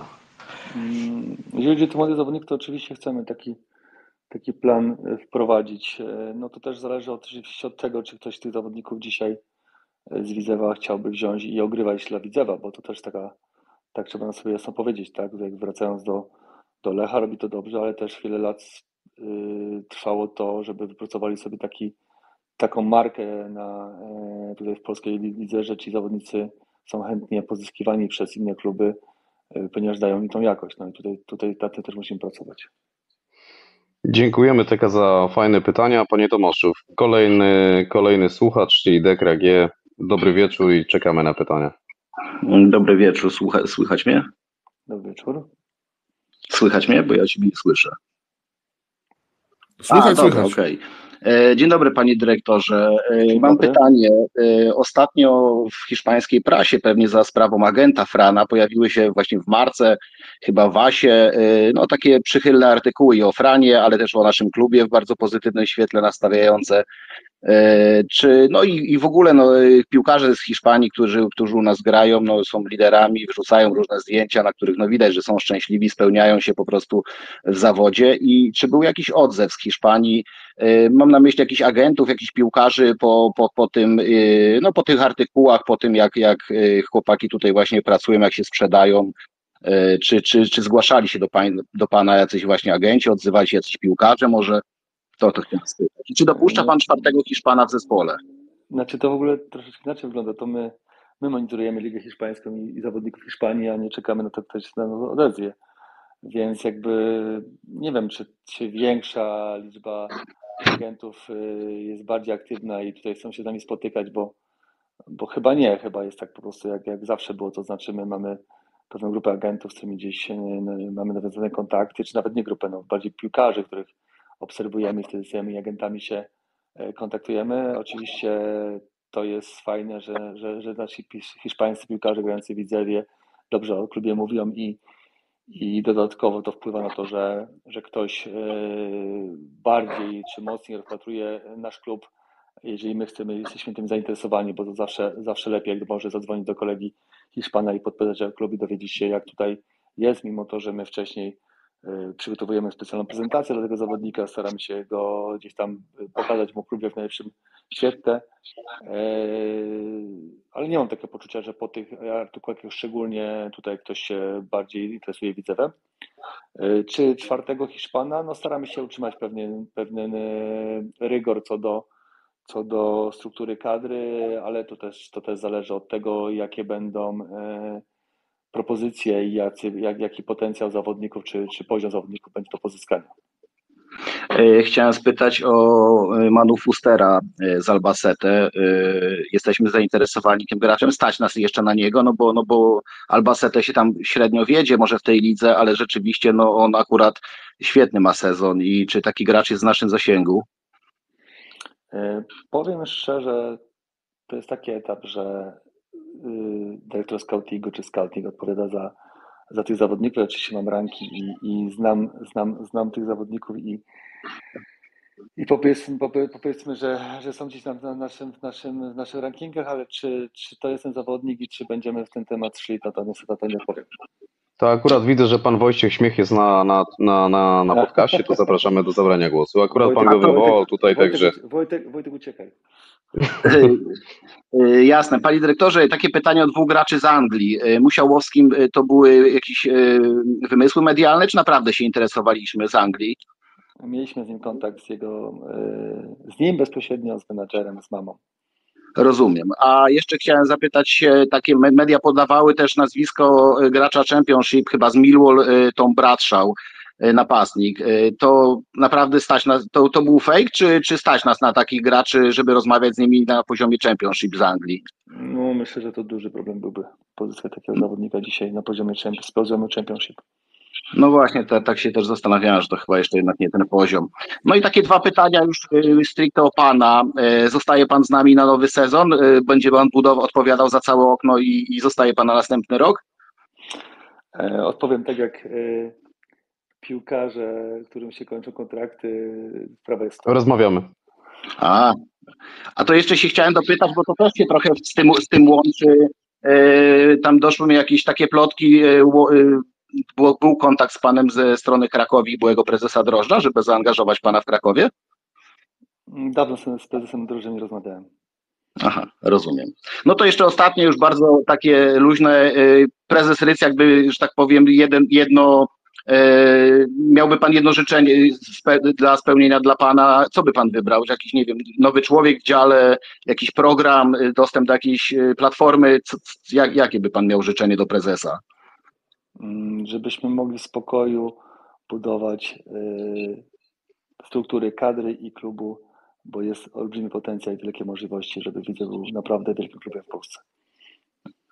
Jasne, dziękuję bardzo. Dobranoc. Dziękujemy Dekra za fajne pytania. Panie Tomaszu, zanim puszczę tutaj Tomasza Kreta, który czeka na głos, to ja chciałem zapytać, czy, czy po tym sezonie ewentualnej dobrej pozycji w tabeli, czy Widzew będzie e, gotowy na e, duży milionowy transfer? Czy jesteśmy przygotowani na to finansowo, czy kompletnie nie rozpatrujemy transferów w przyszłym okienku transferowym e, jako transferów gotówkowych? I mówię tutaj o powiedzmy tym takim magicznym milionie, milionie. Nieważne, czy to będzie euro, czy złotówki, czy, czy my operujemy takimi Czy to, pieniążkami. To jest, to jest duża, różnica, czy złotówki, czy euro. No ja wiem o tym, że to jest duża różnica. No czy jest, to może tak, to czy jesteśmy przygotowani o euro, to może zapomnijmy, ale czy, czy, czy Widzew dzisiaj byłby w stanie, jeżeli byłaby taka potrzeba, zapłacić za piłkarza milion złotych?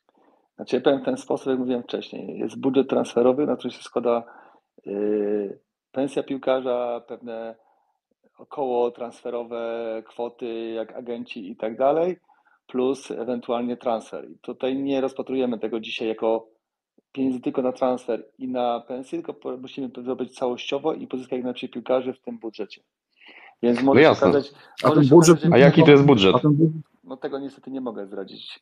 E, Ale procentowo od lata ubiegłego okienka, od letniego ubiegłego okienka, procentowo może pan zdradzić, jak on, jak on e, będzie oscylował? Sa, sami sobie policzymy. Nie no, zwiększa się, zwiększa się tam powiedzmy procentowo w zależności od tego, ile się cały, całościowo budżet zwiększa. Tego jeszcze do końca jakby nie, nie wiem, czy nie wiem, nie, gdzieś mamy powiedzmy ramy ok- określone, to są kwestie troszeczkę w tą, troszeczkę w tamtą, więc jakby tutaj my na to patrzymy całościowo, bo może się okazać, że nie warto wypłacić nie, milion złotych czy jakiekolwiek pieniądze na, na zawodnika, e, ponieważ jest pod kontraktem, tylko lepiej te pieniądze przeznaczyć na pensję zawodnika albo na jakieś powiedzmy ruchy takie, żeby tego zawodnika zachęcić do nas, ponieważ ten zawodnik teoretycznie przychodzący, oczywiście za darmo, to tylko wyłącznie teoria, jest dzisiaj jego potencjał czy, czy umiejętności są wyższe niż tego, za którego trzeba zapłacić, więc tutaj to tak, tak nie, nie spatrujemy tego. To nie jest Jasne. Tak, że, że Widzewa nie stać na to, że nie wiem, byśmy powiedzieli, że jest fenomenalny piłkarz i trzeba za niego zapłacić 100-200 tysięcy euro, że, że, że, że to jest nie do zrobienia. To, to, to tak, tak to nie wygląda. Mi, mi po prostu chodzi o to, czy, czy znajduje pan piłkarza, powiedzmy za granicą. Ja rozumiem, że sam transfer nie wiąże się tylko z transferem gotówkowym i tym, co płacimy w transzy czy w kilku transzach, tylko chodzi mi stricte, czy po prostu znajduje pan dzisiaj zawodnika, który spełnia, e, że tak powiem, statystyczne oczekiwania tego, czego chciałby pan e, w zespole i trzeba za niego zapłacić dzisiaj, na dzień dzisiejszy 250 tysięcy euro. Nieważne, że to jest w dwóch, trzech latach, czy powiedzmy widzę na dzień dzisiejszy, czy chociażby Tak, po tym sezonie myślę, stać. Myślę, że, że tak, jakby była taka potrzeba i byśmy stwierdzili, że to jest piłkarz, który, który jest nam, nam wręcz nie- niezbędny, to, to bylibyśmy w stanie to zrobić. Dobrze, super. Czyli jutro już widzimy, widzimy te nagłówki w łódzkim sporcie. Widzew jest w stanie zrobić transfer za milion złotych. Okej. No to to nie jest. Oczywiście to tak w formie żartu, panie, panie Tomaszu. Nie no, to, Eee. myślę, że to, to, jest, to jest logiczne, że jeżeli chce się pozyskać zawodników, to czasami trzeba też za nich zapłacić, ale ja mówię, to patrzmy na to całościowo, ile może przeznaczyć pieniędzy na zawodnika, a nie na, te, na konkretny transfer gotówkowy. Super, dziękuję panie Tomaszu. Tomasz, e, Sorry, Patryk, mogę coś powiedzieć? pewnie, słuchamy. Tylko e, ch- chwilka. E, Spójrzcie sobie, jak działa Intermediolan. E, Zobaczcie, jak oni w ogóle działają. Oni praktycznie żadnych transferów nie dokonują. Oni oferują dobre zarobki. Oni, oni biorą ludzi z, z kartą na ręku, ale, ale za to oferują dobre zarobki, tak? Także no, nie zawsze trzeba za kogoś zapłacić, stricte klubowi, ale można kogoś zachęcić do gry w klubie poprzez to, że damy mu dobry kontrakt, nie? No tylko tyle. Hej. Dziękujemy, Mieszko. E, Jest z nami Tomasz Kret, który czeka od paru minut na głos. Dobry wieczór i zapraszamy do zadania pytania. Cześć, witajcie, dobry wieczór, panie Tomaszu. Wieczór. E, I ja może trochę cofnę się do e, pytań Adama, który drążył transfery. Mm, Wspomniał pan, że kontrolujecie, obserwujecie piłkarzy, którzy, którym kończą się kontrakty w polskiej ekstraklasie. To może ja też potrążę trochę i, i dopytam, czy tacy zawodnicy jak Marcin Cepula albo e, Semedo, którym kończą się kontrakty, są gdzieś w rankingach mm, Widzewa na jakichś wysokich lokatach, wpisują się w model gry e, trenera myśliwca e, i, i czy to w ogóle są realne jakieś tematy, w sensie takim finansowym. Mm, Więc to takie jedno krótkie pytanie ode mnie. Nie zabieram więcej Mhm. czasu. Znaczy co Marcina Cebuli, to, to to jest to Polak i jakby dla nas byłby może e, kończący się kontrakt, ale z tego co wiem, to on szuka szczęścia chyba za granicą. Takie, takie gdzieś mam informacje, że może szukać tego szczęścia bardziej za granicą. Więc zobaczymy, jak będzie wyglądała sytuacja. To Semedo, no tutaj y, to jest ciekawy zawodnik, ale nie wiem, czy w tym momencie jest to, to zawodnik, który, który w Widzewie y, znaczy czy nie, na pewno nie jest to zawodnik gdzieś powiedzmy w top 3 dla nas y, w tym momencie.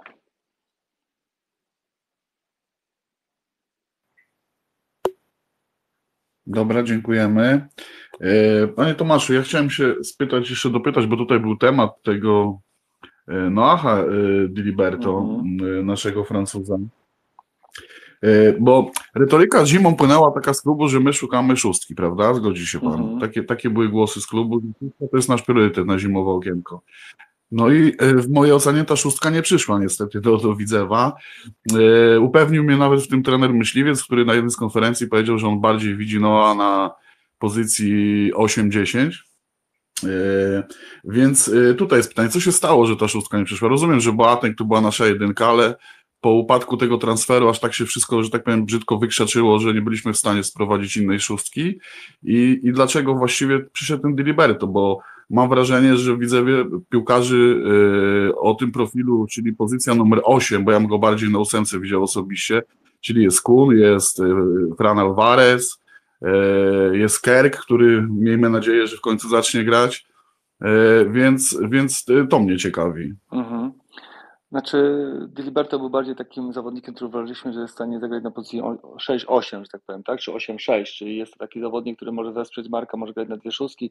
Zresztą e, Valenciennes tak, tak też grywał, e, więc patrząc na pewne inne jego walory, stwierdziliśmy, że, że warto, warto w tego zawodnika, w tego zawodnika pójść. No to też ta ocena jego też jest trochę inna w momencie, kiedy do nas przyszedł i przy treningu więcej odbył z zespołem, więc tutaj nie skreślałbym go na tej pozycji, ale rzeczywiście to nie jest taka typowa szóstka, e, która, która powiedzmy, ale Boateng to też nie był takim zawodnikiem ty- typową szóstką, tak jak Marek. Był bardziej, chcieliśmy zawodnika bardziej mobilnego, więcej biegającego, więcej też dającego zawodni- ze- zespołowi e, do przodu, więc taka decyzja zos- została właśnie od niego podjęta, ale to nie jest zawodnik, czy nie był zawodnik brany jako na pozycję, na pozycję na pewno 10, to bardziej był zawodnik na pozycję 8-6, który może grać, może grać jako dwie szóstki, jako druga szóstka. A że, w tej, a że w tej chwili Marek w mojej ocenie nie ma żadnej konkurencji w drużynie na swojej pozycji, to my e, będziemy szukali tej szóstki zimą, bo ja myślę, że to jest kluczowa pozycja w tej chwili No w drużynie. Marek nie ma, znaczy ma czy nie ma konkurencji, to można oczywiście dyskutować na ten temat, ale też jego pozycja jest taka, że, że to jest dzisiaj pierwszy wybór i, i, i bardzo ważny zawodnik, więc tutaj też na pewno ten środek pomocy będziemy mocno, z, znaczy nie mocno, jest tutaj, to też jest jeden, z elementów, który chcemy, chcemy gdzieś wzmacniać. No właśnie, właśnie panie Tomaszu, tutaj padło pytanie na czacie. Właśnie pierwsze pytanie od Piotrka, co z Kunikiem, czyli, czyli największy fan e, e, Dominika Kuna na, na Widzewie, ale też Piotr zapytał, czy, czy, e, czy pan dyrektor myśli, e, przepraszam, jak sprawa wygląda z Kunem, bo szczerze mówiąc jest wyżej w hierarchii od Gilberto, który został sprowadzony w przerwie. Generalnie jak pan patrzy na Dominika Kuna w Widzewie w przyszłym sezonie, czy jest to zawodnik, który, który w pana mniemaniu e, e, będzie w Widzewie do końca kariery, czy jest to moment, kiedy faktycznie powinniśmy zamieniać tego typu zawodników, mimo że ja Dominika bardzo szanuję za waleczność i charakter, to czy czysto piłkarsko Widzew powinien robić po prostu e, progres, o może tak to nazwijmy. Yy, Powiem w ten sposób. Odpowiedziałem na to pytanie już kilka razy dzisiaj. A propos zawodników, których kończy się kontrakty i myślę, że nie będę powtarzał. Yy, Kwestia doko- dokonań, czy, czy też yy, jego roli, czy też tego, co, jak, jak będzie wyglądała ta sytuacja w przyszłym sezonie, to się wszystko jeszcze okaże. My bardzo cenimy jego walory i zach- zachowania, ale też, tak jak mówimy, to nie tylko chodzi o, o, o Dominika, to chodzi o cały, cały zespół i cały klub. Ten postęp, ten postęp też musi, musimy, musimy w tym postępie, w tym postępie iść. Więc y, stąd też y, te rozmowy, też stąd też te decyzje, na które trochę potrzebujemy czasu, żeby je dopełnić. Okej, tutaj kolejne pytanie od Marka. Czy miejsce letniego obozu jest już wybrane? Czy jest to Wola Chorzelowska, czy jakieś inne miejsce? W jakim terminie odbędzie się obóz? Nie jest to wola Chorzelowska. Okej. E, Piotr Bartosik pyta, zakładam, że to się tyczy to samo, co tutaj z Dominikiem Kunem, czyli co z Matą Miloszem? No to tak, jakbym dopytał kolejny raz o to samo, czyli w ten sam sposób e, zawodnicy pierwsi dowiedzą się o decyzji, e, jak będzie wyglądała sytuacja, jemu się kończy kontrakt. E, zawodnika, zawodnicy są poinformowani, jak wygląda ich sytuacja, wiedzą to i są też w części w negocjacji. A ode mnie pytanie, czy... Ja dopytam może inaczej. Poczekaj, Patryk, ja jeszcze może inaczej do tego pytania naszego kibica. Czy te letnie okienko, ze względu na to, że dużej grupie piłkarzy kończą się kontrakty, czy jest szansą dla Pana jako dyrektora sportowego, dla tej drużyny, dla tego klubu na to, żeby tą drużynę przebudować tak, żeby ona naprawdę zrobiła e, duży jakościowy progres? No bo nie ukrywajmy, no okazja jest na to bardzo duża, e, bo, bo jednak duża grupa jednak piłkarzy kontrakty wygasają mi, prawda? No, aż, aż, tak, też aż tak duża grupa chyba nie, bo, bo szczerze mówiąc nie sądzę, że gdyby to była aż tak duża grupa, którym się kontrakty, kontrakty wy, wygasają, bo to jest chyba raptem cztery już teraz osoby, z tego tak, co pamiętam, dobrze mówię. E, więc, więc aż tak duża grupa nie. E, zawsze jest to też jakaś tam szansa na to, żeby, żeby pewne zmiany na, e, nastąpiły. Czy jakiś wielki jakościowy progres? Nie sądzę, że to jest jakiś wielki jakościowy progres. Progres tak, progres to, żeby ten zespół, zespół też trochę zmienić, też żeby dać nowy impuls. E, no i dalej się rozwijać. Mm. Chciałem przeczytać pytanie i mi niestety znikło. E, Panie Tomaszu, ale ja zapytałem od siebie, czy, czy, czy Czy zakłada Pan e, w letnim okienku transferowym podobną bombę, jeżeli chodzi o transfer jak Sebastian Kerk? Mówię o takim podobnym kalibru. Ja oczywiście, pewnie Pan powie, że jesteśmy przygotowani na każdą ewentualność, ale, ale czy, czy, czy, czy rozpatruje Pan takiego zawodnika, e, który mógłby przyjść do Widzewa i dać kolejny taki duży impuls, e, który po prostu rozłożyłby dalej e, na, na, na więcej tych zawodników, którzy po prostu decydują o losie spotkań? No, przede wszystkim W skrócie taki do, do naszego fortepianu, panie, panie dyrektorze. Znaczy do, do grania na, do, do grania na fortepianie. A- a nie- Tak, tak, nie- tak. O takiego, o tak, takiego tak. gościa mi chodzi, takiego Znaczy, kozaka. No, znaczy powiem tak, no chcemy jakościowo ten zespół wzmacniać, więc tutaj yy, zakładamy, że to będą zawodnicy, którzy nam wzmocnią, którzy dadzą jeszcze, jeszcze więcej impulsu, będą też na tym fortepianie jak najbardziej grali, choć yy, to jest tak, że coraz więcej piłkarzy na tym fortepianie yy, gdzieś gra, ale też są ci, którzy bardzo, bardzo są potrzebni, żeby ten fortepian nosić i są tak samo ważni czasami jak ci, którzy na tym fortepianie grają, bo jakby ich nie nosili, to by może tam ci nie mogli grać. E, więc tak, no przede wszystkim chcemy, żeby to było, mówię, piłkarze, a, którzy wzmocnią zespół, dadzą nowy impuls i, i jeszcze zwiększą, zwiększą rywalizację, ale czy, bo to jest kwestia, poszukamy Sebastiana, ponieważ grał w Bundeslidze, grał w drugiej lidze e, niemieckiej i to jest dla nas jakiś powiedzmy wyznacznik. Zobaczymy, czy to będzie zawodnik z tego poziomu ligowego. Myślę, że tutaj bardziej chyba nam chodzi o umiejętności i, to, co nam da, da dla zespołu. To ja zapytam z innej beczki, czy dzwoni do Pana dzisiaj zawodnik, który wybrał Turcję i turecki klub i szczerze przeprasza za zaistniałą sytuację i jednocześnie twierdząc, że chciałby spróbować Widzewie, mówi Pan tak i daje Pan szansę, czy kategoryczny nie? Mm, Nie, no oddał nam za bilety i to wystarczy. Okej, okej, okej. E, Czy Sebastian Kerk zostanie w Widzewie na przyszły sezon? No ma z nami kontakt jeszcze, więc myślę, że tak. Okej. Mm. Zizu, jakieś pytanie? Ja jeszcze przeczytam parę pytań na sam koniec i będziemy powoli, panie Tomaszu, kończyć. E, Jest już późna godzina, także jeżeli ktoś tutaj od was, e, którzy są już na linii, panowie, chciałby zadać pytanie na koniec, ostatnie parę minut, ustalmy sobie te 22.40, panie Tomaszu. Ja jeszcze zobaczę, czy jest jakieś ciekawe pytanie na czacie i, i będziemy się powoli zbierać do spania, bo niedługo okienko transferowe. Mhm. Nie, nie możemy go przespać. Ja, ja chciałem. No, przede wszystkim, no tak, tak. Ja chciałem, się, ja chciałem się spytać jeszcze o to. Właściwie chciałem to podsumować, tak, bo wiadomo, że, że pan jest dyplomatą. Panie Tomku, wróżę panu dużą karierę polityczną, gdyby pan zrezygnował z piłki. To, to naprawdę nam się przydaje. Ale chodzi, chodzi mi o, e, wiadomo, że nie jakieś konkrety. Mówił Pan o piłkarzach ofensywnych, o piłkarzach defensywnych, których chcemy, chcemy pozyskać. E, Mnie cały czas nurtuje ten środek pola, bo, bo uważam, że w każdej drużynie środek pola to jest taki motor napędowy, silnik, który decyduje o wszystkim. E, Czy my będziemy szukali do środka pola e, piłkarza defensywnego, ofensywnego, czy może i defensywnego, i ofensywnego?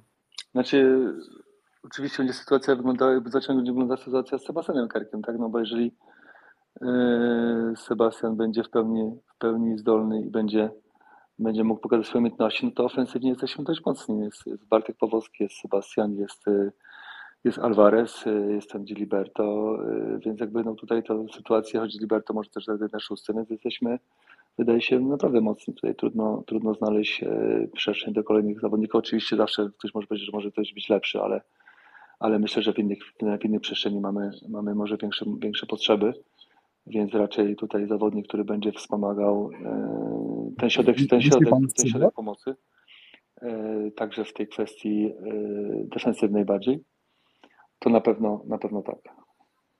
Ja tutaj mam dwa ciekawe pytania. pan, Mogę Zizu, czy chcesz dopowiedzieć?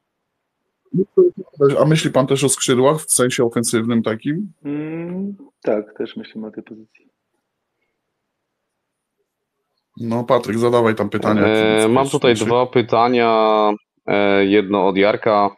E, Czy planujemy więcej transferów? Dosyć ciekawe. Zawodników o lepszych warunkach motoryczno-siłowych typu Dziczek, Kalstrom, bo wydaje się, że ostatnio celowaliśmy w zawodników technicznych i zwinnych i czasem brakuje skuteczności w pojedynkach, zakładam fizyczno-powietrznych, chociaż jest tutaj i Matt i Jordi. E, Jak pan się do tego ustosunkuje? Znaczy przede wszystkim trzeba umieć grać w piłkę. No może do tego byśmy zaczęli. A czy fizycznie my jesteśmy zespołem z fizycznie słabszym?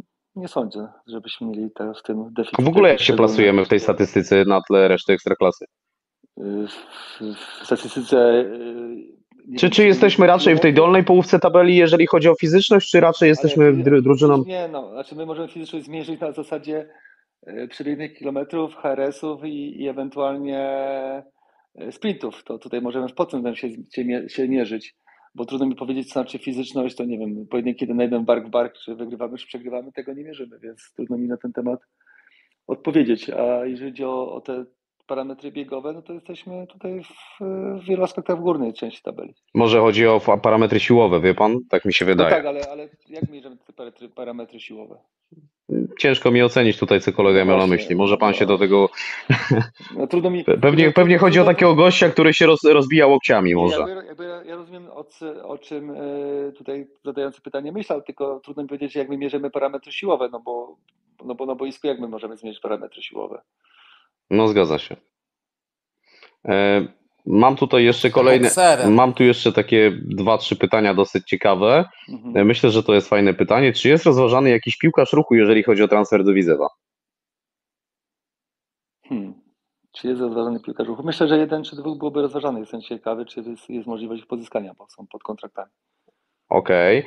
E, Jeśli chodzi o napastnika, to pan Klimek ze Stali ma agenta, który ich dostarcza. Czy znamy nazwisko tego kozaka? Znamy.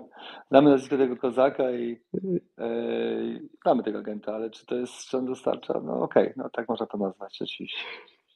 I czy to nie jest trochę tak, że tutaj Damian, czy to nie jest trochę tak, że czym wyżej jesteśmy, to coraz ciężej będzie nam pozyskiwać Polaków, bo liczba Polaków mogących podnieść poziom e, i są na naszą kieszeń przede wszystkim, topnieje ekspresowo, więc czy chcemy, czy nie chcemy, jesteśmy skazani na to, że będzie coraz większa dysproporcja. No to już odpowiedziałem na to pytanie, tak? Spójrzmy na zespoły, które powiedzmy teoretycznie są dzisiaj najmocniejsze e, w ekstraklasie, ilu gra obcokrajowców i jakie mają rolę ci obcokrajowcy w tych zespołach. I tutaj druga sytuacja, no to jest właśnie ta jakość doceny, tak? E, No jest to problem z Polakami, którzy powiedzmy w pewnym momencie dość szybko wyjeżdżają i te, i te warunki są trudne do spełnienia dla polskich klubów, żeby ich pozyskać. Okej. Kolejne pytanie od Ryby. E, Mam dwa pytania do dyrektora Wichniarka. Czy Widzew jest już na takim etapie, żeby wyciągnąć wyróżniających się zawodników z drużyn będących niżej w tabeli niż Widzew? Na przykład Zdrelak, Matuszewski, Szmyc-Warty, Łukowski, Sikawka z Korony, Hajda z Puszczy.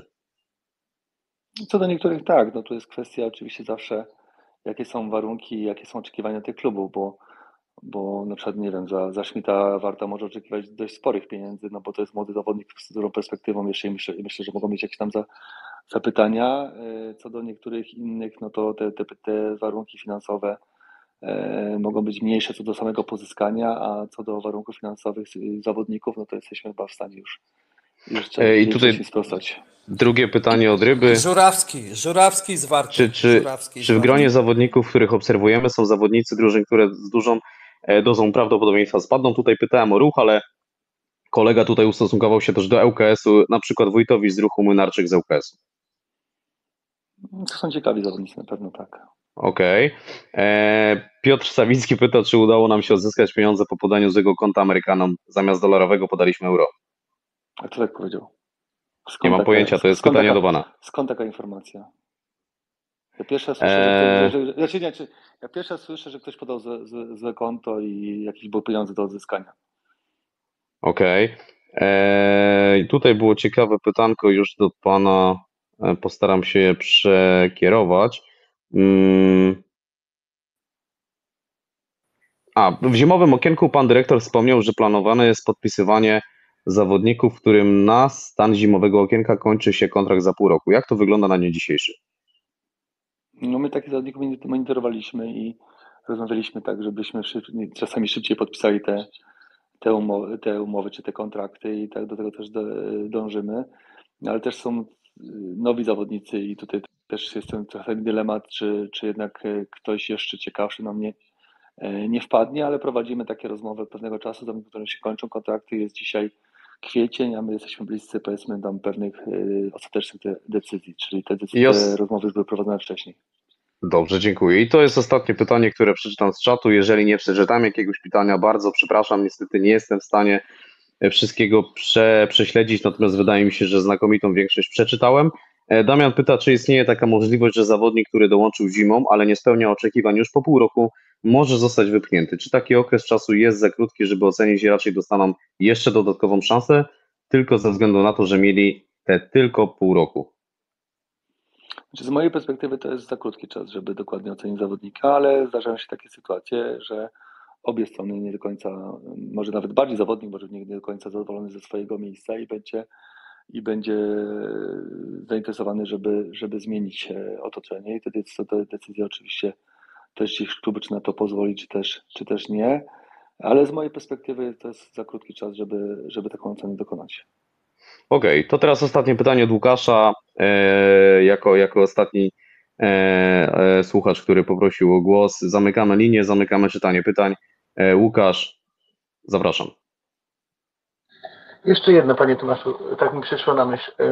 Kilka razy zadawałem to pytanie panu Maćkowi Szymańskiemu odnośnie starych legend, które mają, są legendami też jeszcze w innych klubach.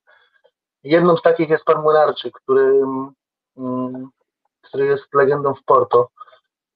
A Porto słynie trochę tak ze scoutingu, tak mi przyszło na, na Znaczy, myśl. nie, nie słyszę żadnego pytania, więc nie wiem, czy to pytanie jest zadawane, czy też nie. E, Łukasz, niestety, ale pan Tomasz cię nie słyszy, tego co zrozumiałem.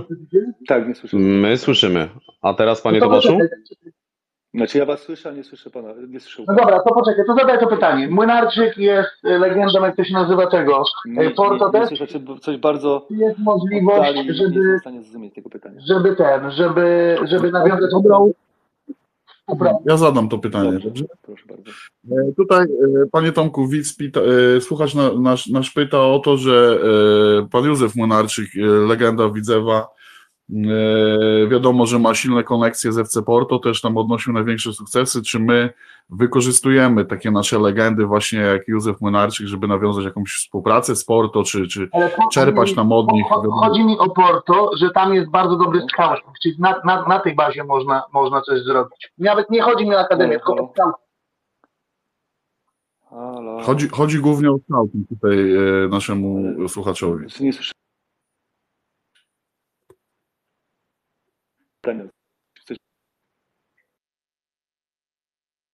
Mm, coś się tutaj chyba wydarzyło, co? E, Zizu, czy ty mnie dobrze słyszysz?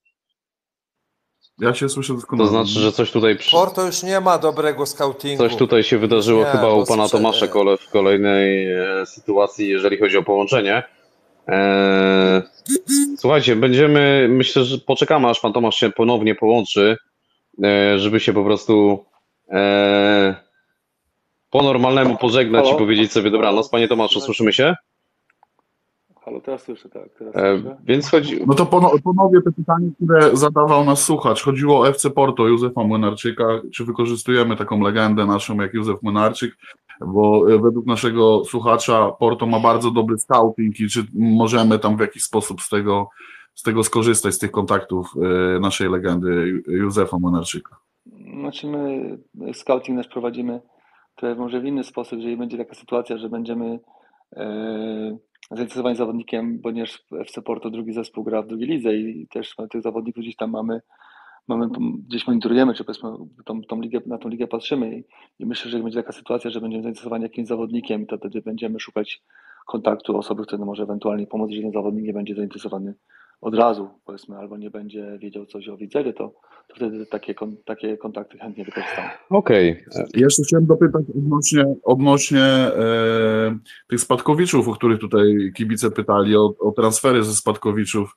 E, mówił Pan o tym, że może będziemy ich rozglądać właśnie z jakimiś skrzydłowymi. Podoba Panu się Balić w- w ŁKS-ie?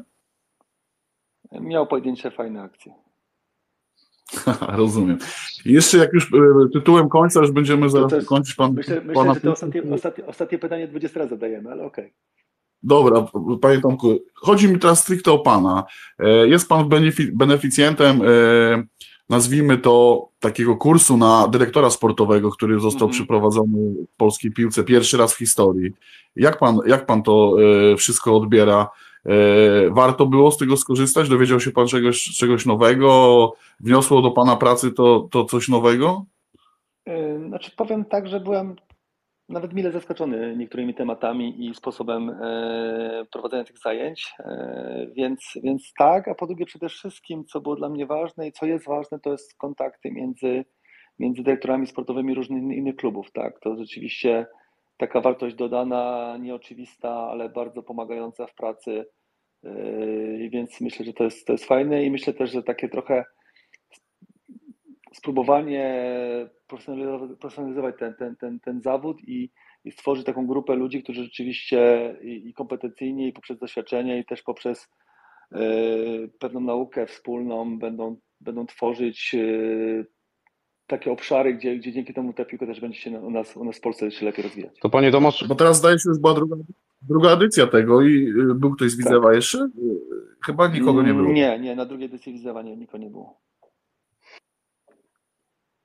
e, zanim zakończymy e, i, i się pożegnamy, panie Tomaszu, kto wygra Ligę Mistrzów i czy za pana kadencji Widzew skończy sezon w top 3? Kto wygra Ligę Mistrzów? A kto jest? Kto jeszcze? No nie widzę. Nie mam czasu obserwować.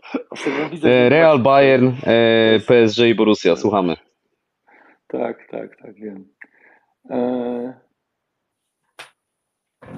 myślę, że myślę, że w końcu mogą PSG wygrać. Okej. I czy Choć, choć, ba- choć bardziej Real. bardziej Real, nie? Ten mocarny Real w Lidze Mistrzów. Tak. I, i, i, I to pytanie na temat Widzewa w top 3 za pana kadencji. Czy to się wydarzy? Jeżeli przedłużę umowę na odpowiednio długi czas. Okej, super. Panie Tomaszu, bardzo dziękuję za merytoryczną, długą, fajną rozmowę. Dziękuję też kibicom za mnóstwo fajnych pytań i na czacie, i tutaj na żywo. Myślę, że to był jeden z naszych lepszych pokoi, które się tutaj na Red Roomie wydarzyły. Yy, Panie Tomaszu, życzymy owocnego letniego okienka transferowego, dobrego wieczoru, wygranej z Rakowem, yy, dużo zdrówka i tego top 3, a najlepiej mistrzostwa. Dziękujemy serdecznie. Dziękuję serdecznie i tego samego wszystkim wam, nam życzę. Dziękujemy, No, pozdrawiamy. jeśli przedłuży pan tą umowę, to, to zapraszamy zimą oczywiście, po kolejnym okienku. Okej. Dobra, dziękujemy, dobrej nocy, dziękujemy Wam. Dziękuję. I Pozdrawiam. zapraszamy Was oczywiście wszystkich do odsłuchu. Myślę, że ten pokój był w mojej ocenie jeden z, jednym z lepszych. E, tak jak i kibice na czacie bardzo aktywni, tak i tutaj na żywo też. E, nie wiem, czy będzie jakiś rekord, ale na pewno pokój będzie mile odsłuchiwany. Wedle mojej opinii było bardzo dużo pytań. Wiadomo, że pan Tomasz jest dyplomatą i odpowiada na wszystko tak, jak dyplomata e, to robi, ale no pewne e, pewna pozycja w klubie, jaką jest dyrektor sportowy, no, powściągliwości wymaga i na wszystkie pytania nie da się odpowiedzieć, ale mimo wszystko myślę, że Patryk, proste. ale, proste, ale myślę, że na tak większość, na większość pytań myślę, że jednak mimo wszystko postaraliśmy się. Tak docisnąć, Jakoś. udało. To, co się udało, to się udało. E, To nie są realia Barcelony czy Realu, gdzie się mówi o transferach wcześniej, o, o tym, że coś przyjdzie wielkiego za 100 baniek albo i 200, ale funkcjonujemy na polskim podwórku, także ja Wam dziękuję. E, Dziękuję wszystkim, którzy dzisiaj byli. Zizu, ty to wiadomo, nie? My sobie podziękujemy na żywo e, telefonicznie, ale przede wszystkim zapraszam Was do odsłuchu i do udostępnienia podcastu. Robimy to dla Was i to tyle. Dobrej nocy, trzymajcie się. Do widzenia, cześć. Siemano, dzięki serdeczne, cześć.